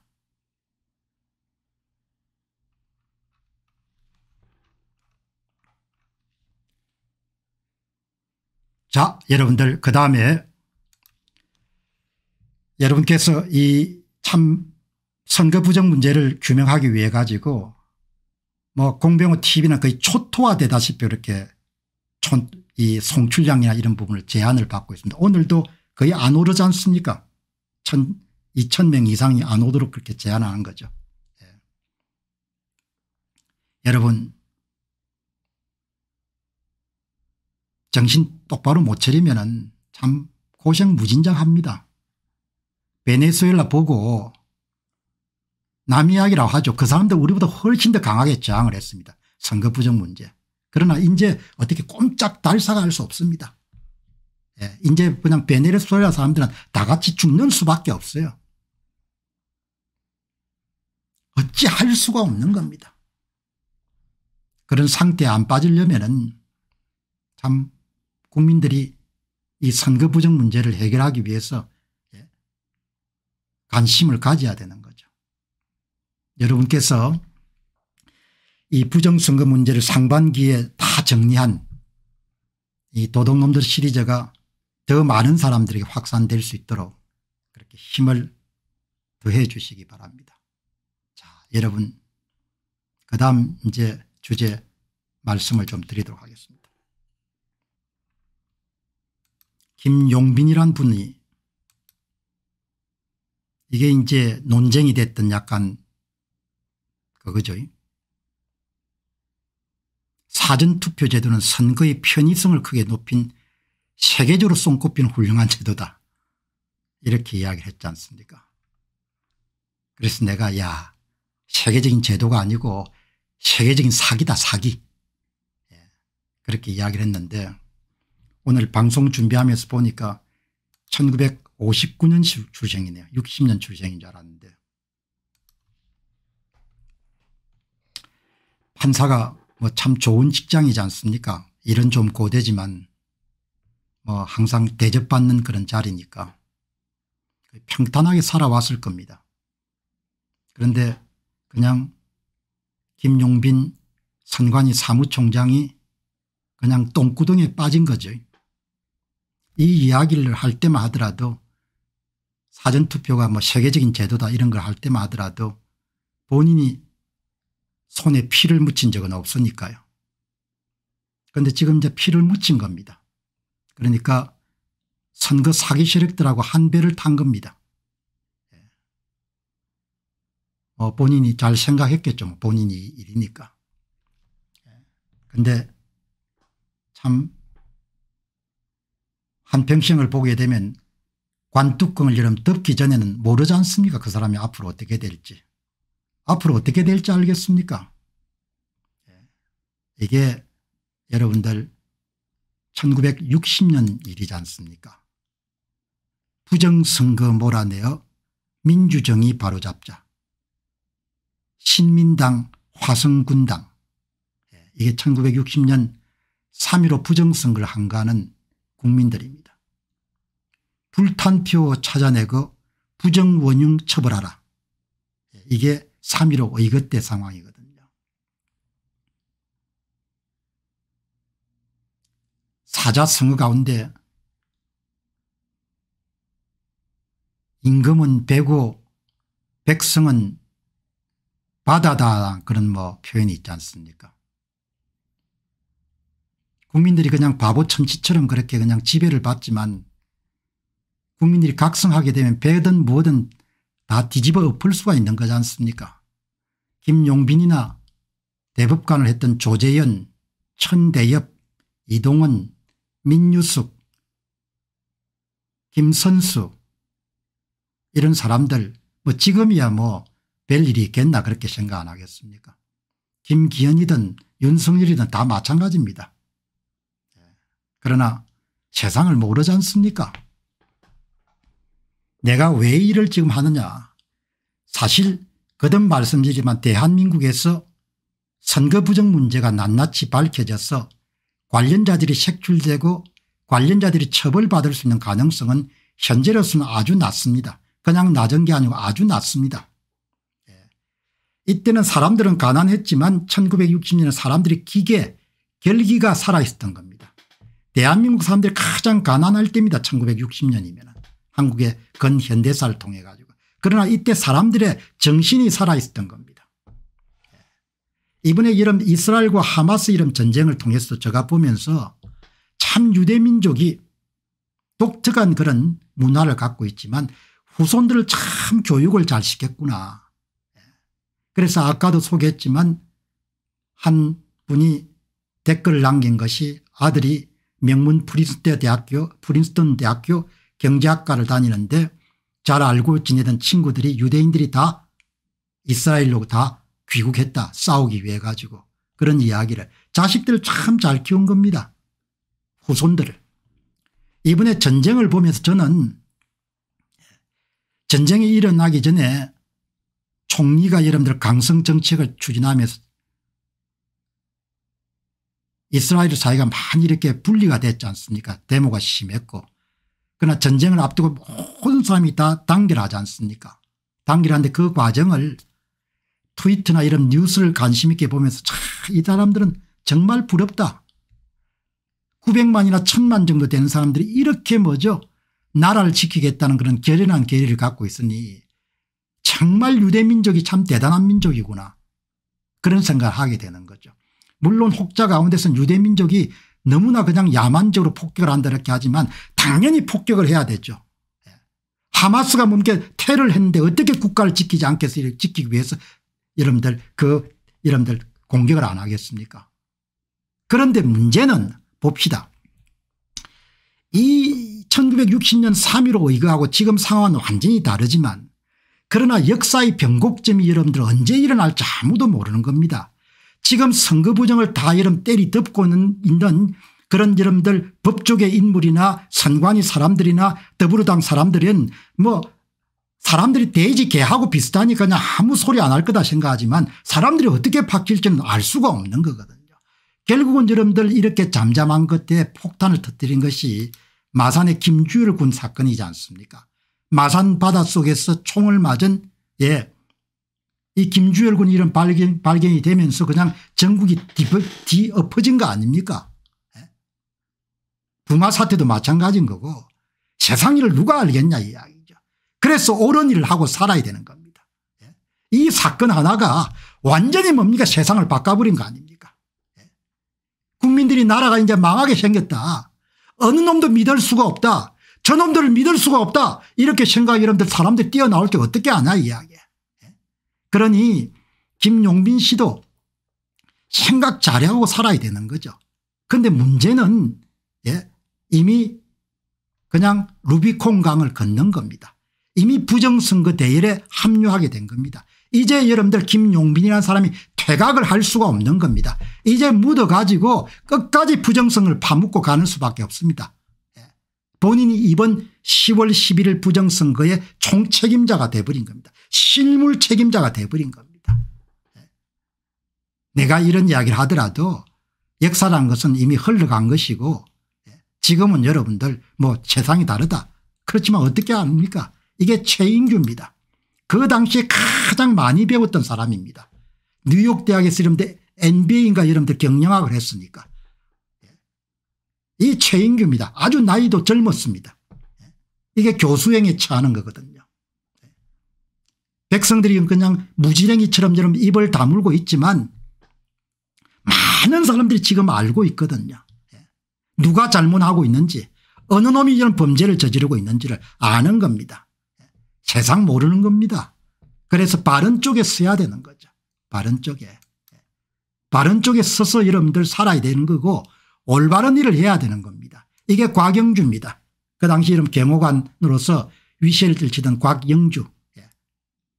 세월이 흘러서 지금은 사형제도 없고 하니까 뭐 이런 일이 없을 것이다 이렇게 하지만 난 세상에는 할 수가 없는 거죠. 그래서 지금도 사는 것이 사람 파는 일은 걷는 것처럼 보이지 않습니까 선거 부정을 저지르고 선거 부정을 덮고 재판 거래를 하고 예. 자신의 사적 이익을 극대화하기 위해서 선거 부정에 침묵하고 그 사람들이 이기면 은 나라는 망할 거라고 봅니다. 내가 망한다는 것은 나라가 국권을 빼앗기는 건 아니지만 나라가 비참한 상태로 빠지겠죠. 그러나 국민들이 이런 한글 해가지고 그냥 뒤엎으면 누구가 어떻게 할 거고 그런 일이 어떻게 일어날지 누구, 누구가 어떻게 여러분들 예단할 수 있겠냐 이야기죠. 예. 이게 군수 이게 숫자죠. 예. 민수 나라 일을 하는 사람들이 여러분들 되지만 백성들이 무리라는 겁니다. 예. 선거를 저거 마음대로 하는데 그냥 입 다물고 살 수도 있지만 들고 일어날 수도 있지 않습니까 누가 알겠습니까 알 수가 없는 거죠. 그래서 옳은 길 바른 길을 걸어야 되는 거죠. 예.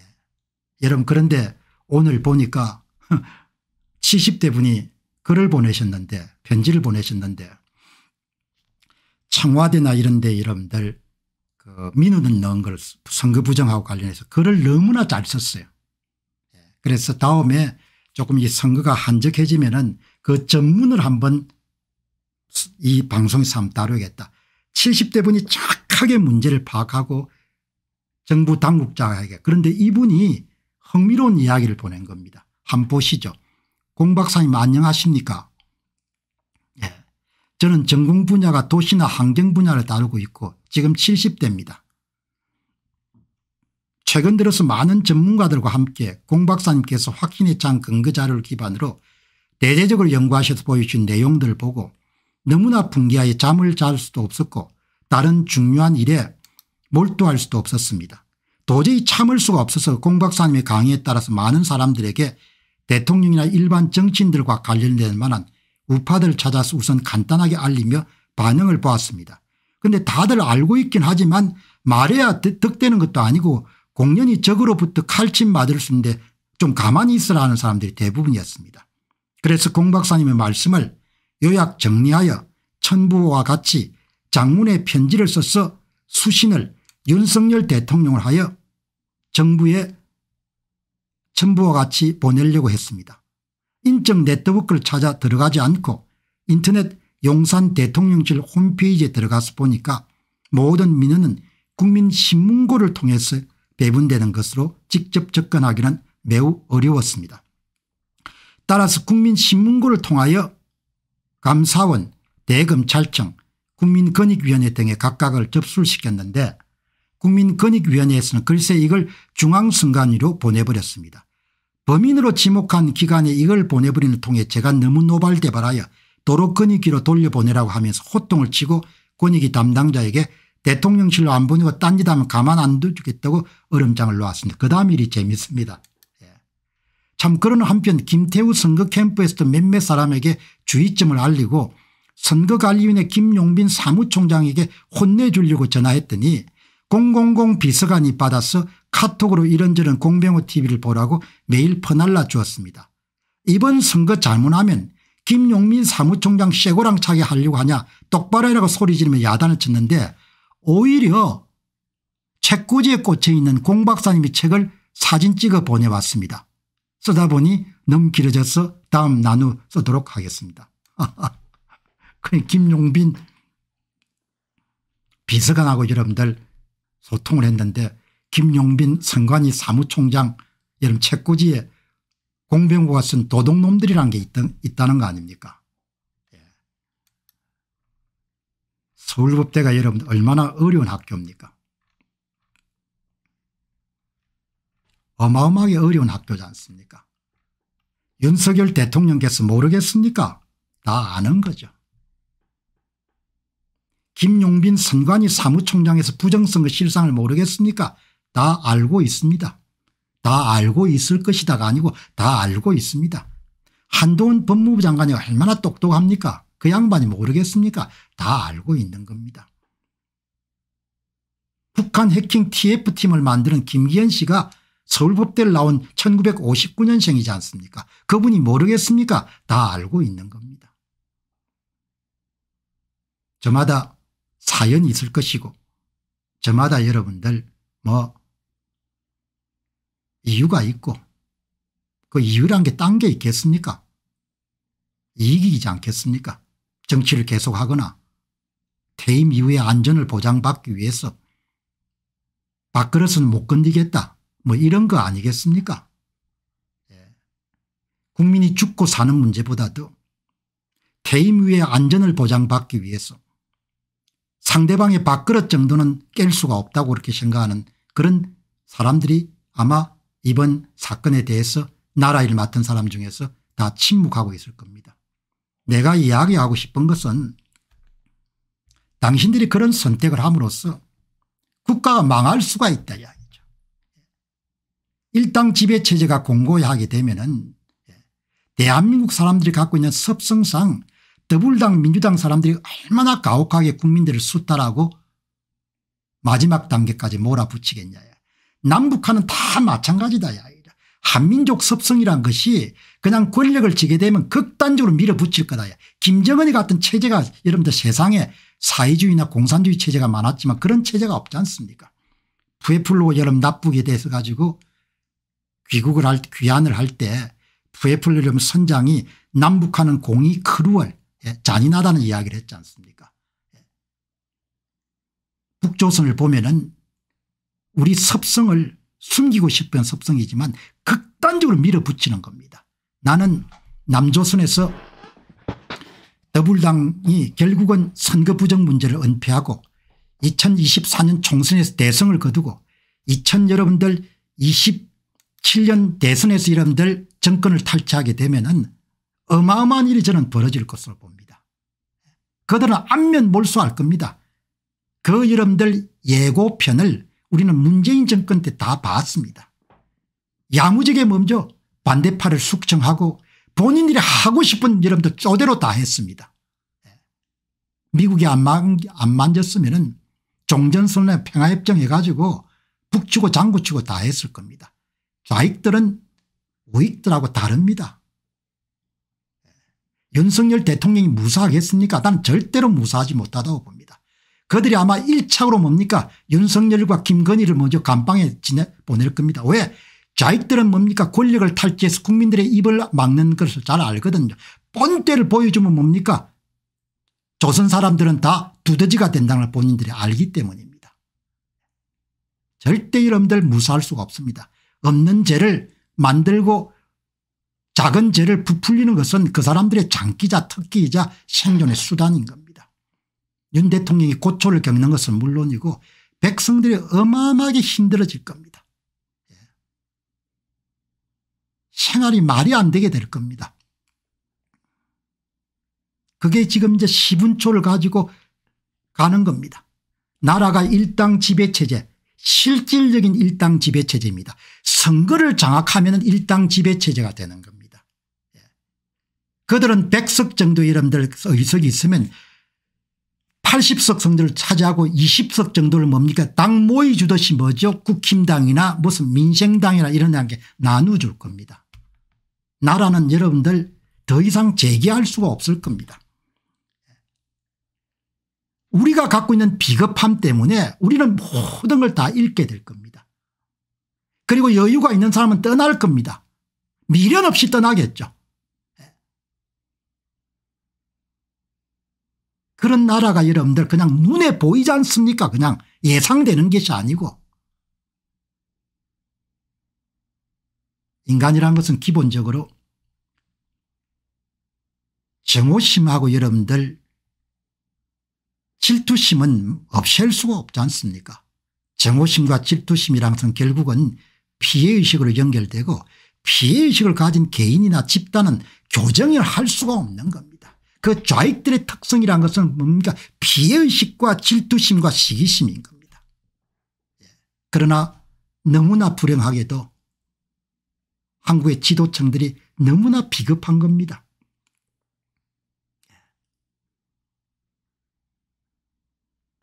유대인들이 이번에 하마스를 대상으로 해서 싸우는 것을 보면서 이스라엘 공군이나 이스라엘 육군이나 이스라엘 이름들 뭐죠 수상실이나 이런 트위터를 방문해서 이름들 그 사람들의 일거수일투족을 보게 되면은 국가를 이름도 운영하는 사람들이 재난 시에 어떻게 행동하는가를 너무나 모사드라든지 너무나 이름들 리얼하게 보여주지 않습니까 지금 침략을 당했지 않습니까 대한민국이 침략을 당한 겁니다. 대한민국 6.25 전쟁에 필적할 정도의 내부의 적으로부터 헌정 질서를 무너뜨리고 뭡니까 체제를 전복시키기 위한 그런 내부의 적들로부터 공격을 당한 겁니다.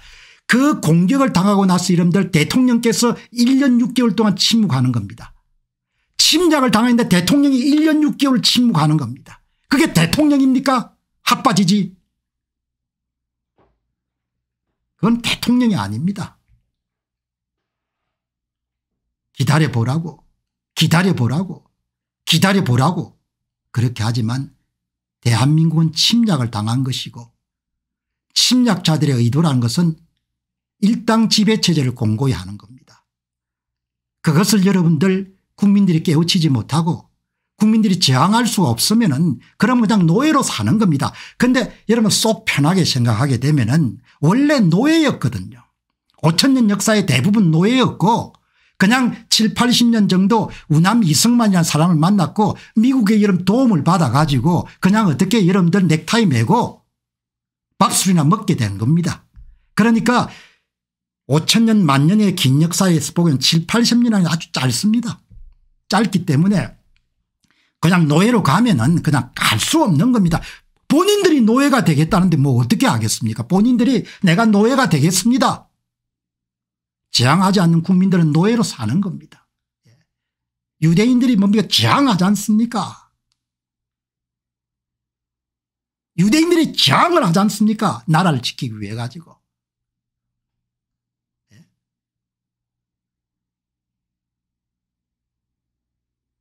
여러분 선거를 도둑질해가 대통령을 만들고 국회의원을 만들고 시도지사를 만드는 것이 그게 침략이 아니고 뭡니까 나는 윤석열 대통령이랑 좀 묻고 싶습니다. 그게 침략이 아니면 뭐가 침략입니까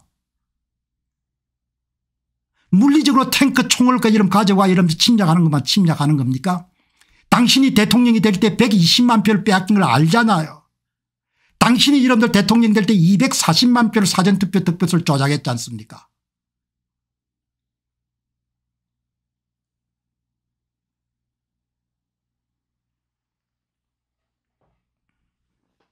이번에 여러분들 이스라엘 전쟁을 할 때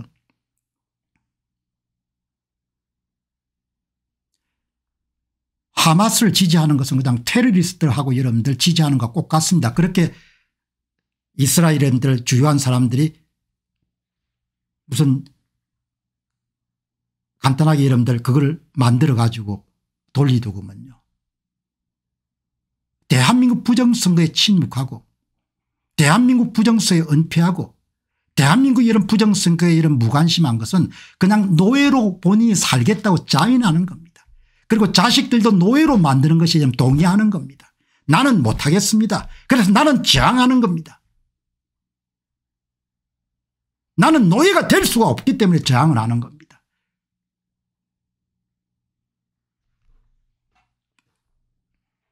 대한민국은 대통령 중심제입니다. 대통령이 힘이 있건 없건 간에 대통령이 여러분들 방향을 정하게 되면 그쪽으로 돌아가는 겁니다. 도무지 윤석열이라는 사람은 이해를 할 수가 없습니다. 예. 이해를 저는 도저히 이해가 안 되는 겁니다. 국가가 침략을 당했는데 내일 보자 모레 보자 1년 6개월 검찰총장부터 여러분들 하게 되면 2년 2년이 훨씬 넘었습니다. 아무도 싸우려고 하지 않는 겁니다. 예. 아무도 부정선거와 싸워서 여러분들 우리를 지키려고 하지 않는 겁니다. 여러분 지금 대한민국의 상황이 아무도 싸우려고 하지 않는 겁니다. 공박사 싸우다 죽어주면 좋겠다는 생각하는 사람 많겠지만 누구도 여러분들 총을 들고 싸우려고 하지 않는 겁니다. 나라가 침략을 당했는데 그게 지금 대, 이 나라인 겁니다. 예. 아무도 싸우려고 안 하는 겁니다. 남이 자유를 찾아주면 좋고 남이 이런 참정권을 찾아주면 좋은데 나는 모르겠다 이야기입니다. 그럼 노예로 살아라 이야기죠. 노예로.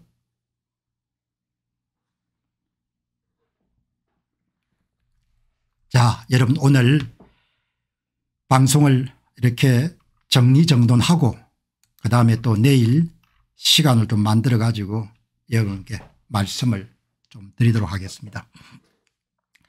여러분께서 이제 오늘 방송을 좀 보시고 정말 이 선거를 지키는 것은 자유를 지키는 것이고 그리고 참 재산을 지키는 것이고 생명을 지키는 것이고 나의 노후를 지키는 것이고 아이들의 미래를 지키는 겁니다. 이것은 저만의 일도 아니고 여러분 개개인만의 일이 아니고 우리가 나라를 지켜야 됩니다. 여러분 저는 참 이번 유대인들이 싸우는 걸 보면서 그게 900만 900만 그렇게 총 예비군을 동원하더라도 30만 정도밖에 안 되더구먼요. 예, 나라가 뭐 그렇게 큰 나라가 우리가 생각하는 것보다 너무나 작은 나라 같아 이스라엘이. 그래서 사람들이 의지가 있고 참 그 처녀들이 참 마음에 들더구먼요. 예, 그 총을 들고 예, 그냥 남자 여자 관계없이 뭡니까 그냥 완전 군장 해가지고 지키지 않습니까 우리가 후손들에게 참 잘 못한 것 같습니다. 잘 가르쳐야 되는데 여러분께서 이 부정선거 문제를 해부한 이 도둑놈들 시리즈가 더 많은 사람들에게 확산될 수 있도록 그렇게 힘을 더해 주시고 또 특히 얼마 전부터 공병호 tv에 소개하기 시작한 이 기독교로 보는 세계 역사 이 책도 여러분들의 삶에 크게 도움이 될 수 있도록 그렇게 활용을 해 주시면 좋겠습니다. 오늘 방송 보시면서 이제 윤석열 대통령에 대해서 좀 쓴소리를 한 부분에 대해서 좀 언짢은 분이 있으시더라도 뭐 여러분들이 이해를 하시기 바랍니다. 사실 뭐 윤 대통령에 대해서 개인적인 뭐 사감이나 이런 것이 있을 수가 없지 않습니까 우리가 뽑은 대통령이고 또 저 자신도 문정권에 그런 브레이크를 걸어야 되고 그래서 뭐 큰 기대를 걸지 않았지만 그래도 다른 대안이 없기 때문에 윤 대통령이 잘 하시지 않겠느냐 그렇게 생각이 드는데 제가 다시 한번 말씀을 드리고 싶은 것은 대한민국은 대통령 중심제고 국가를 보위하는 최종 최고 책임자는 대통령입니다. 그래서 우리가 군을 통, 통솔할 수 있는 모든 권한이 대통령에게 주어지 않습니까 국가 보위의 최고이자 최종 책임자가 대통령입니다. 예. 그래서 대통령이 이 문제에 대해서 반듯한 선택을 해야 되는 겁니다. 무슨 사연이 있는지 모르겠지만 예, 너무 여러분들 제가 볼 때는 우유부단하고 비겁한 것 같아요. 예.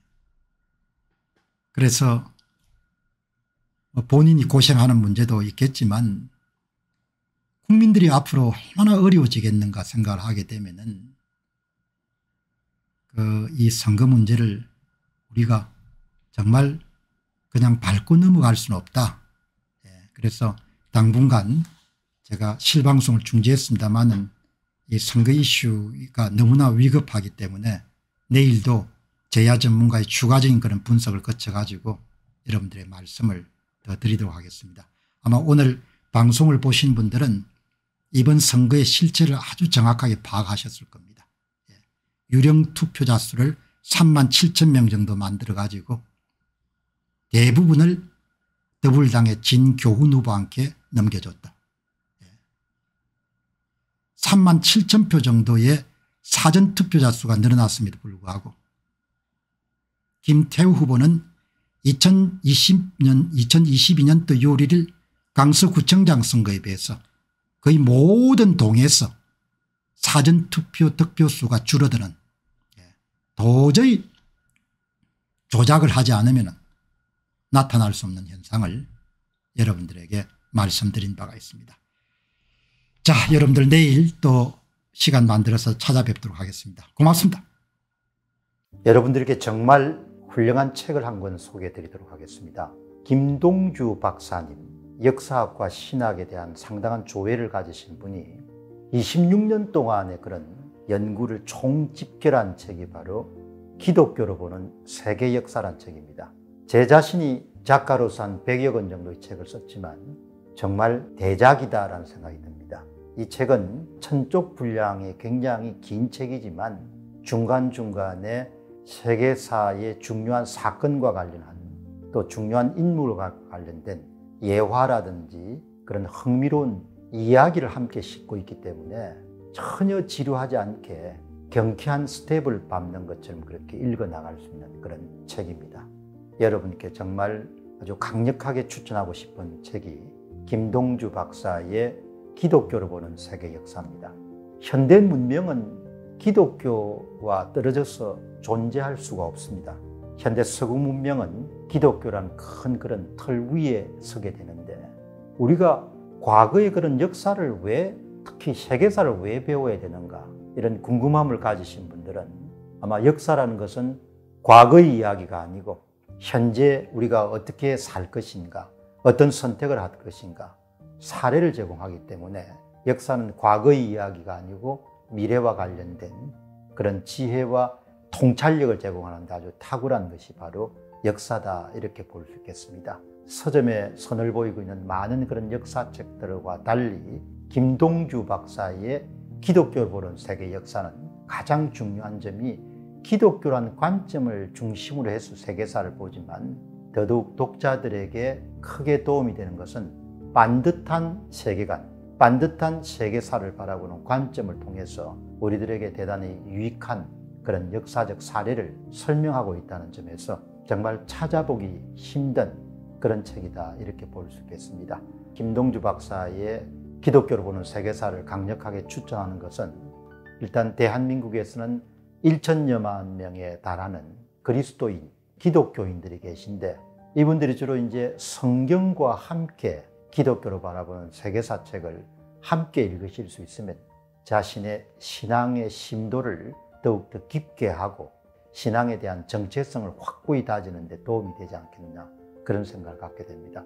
생각하는 힘을 키우는 것이 참 중요한데 영상의 시대가 대세가 되면서 점점 사람들이 생각하는 힘을 잃어가고 있기 때문에 그런 시대 환경 속에서 여러분들에게 강력하게 추천하고 싶은 그런 책이 바로 김 박사가 쓴 기독교로 보는 세계사입니다.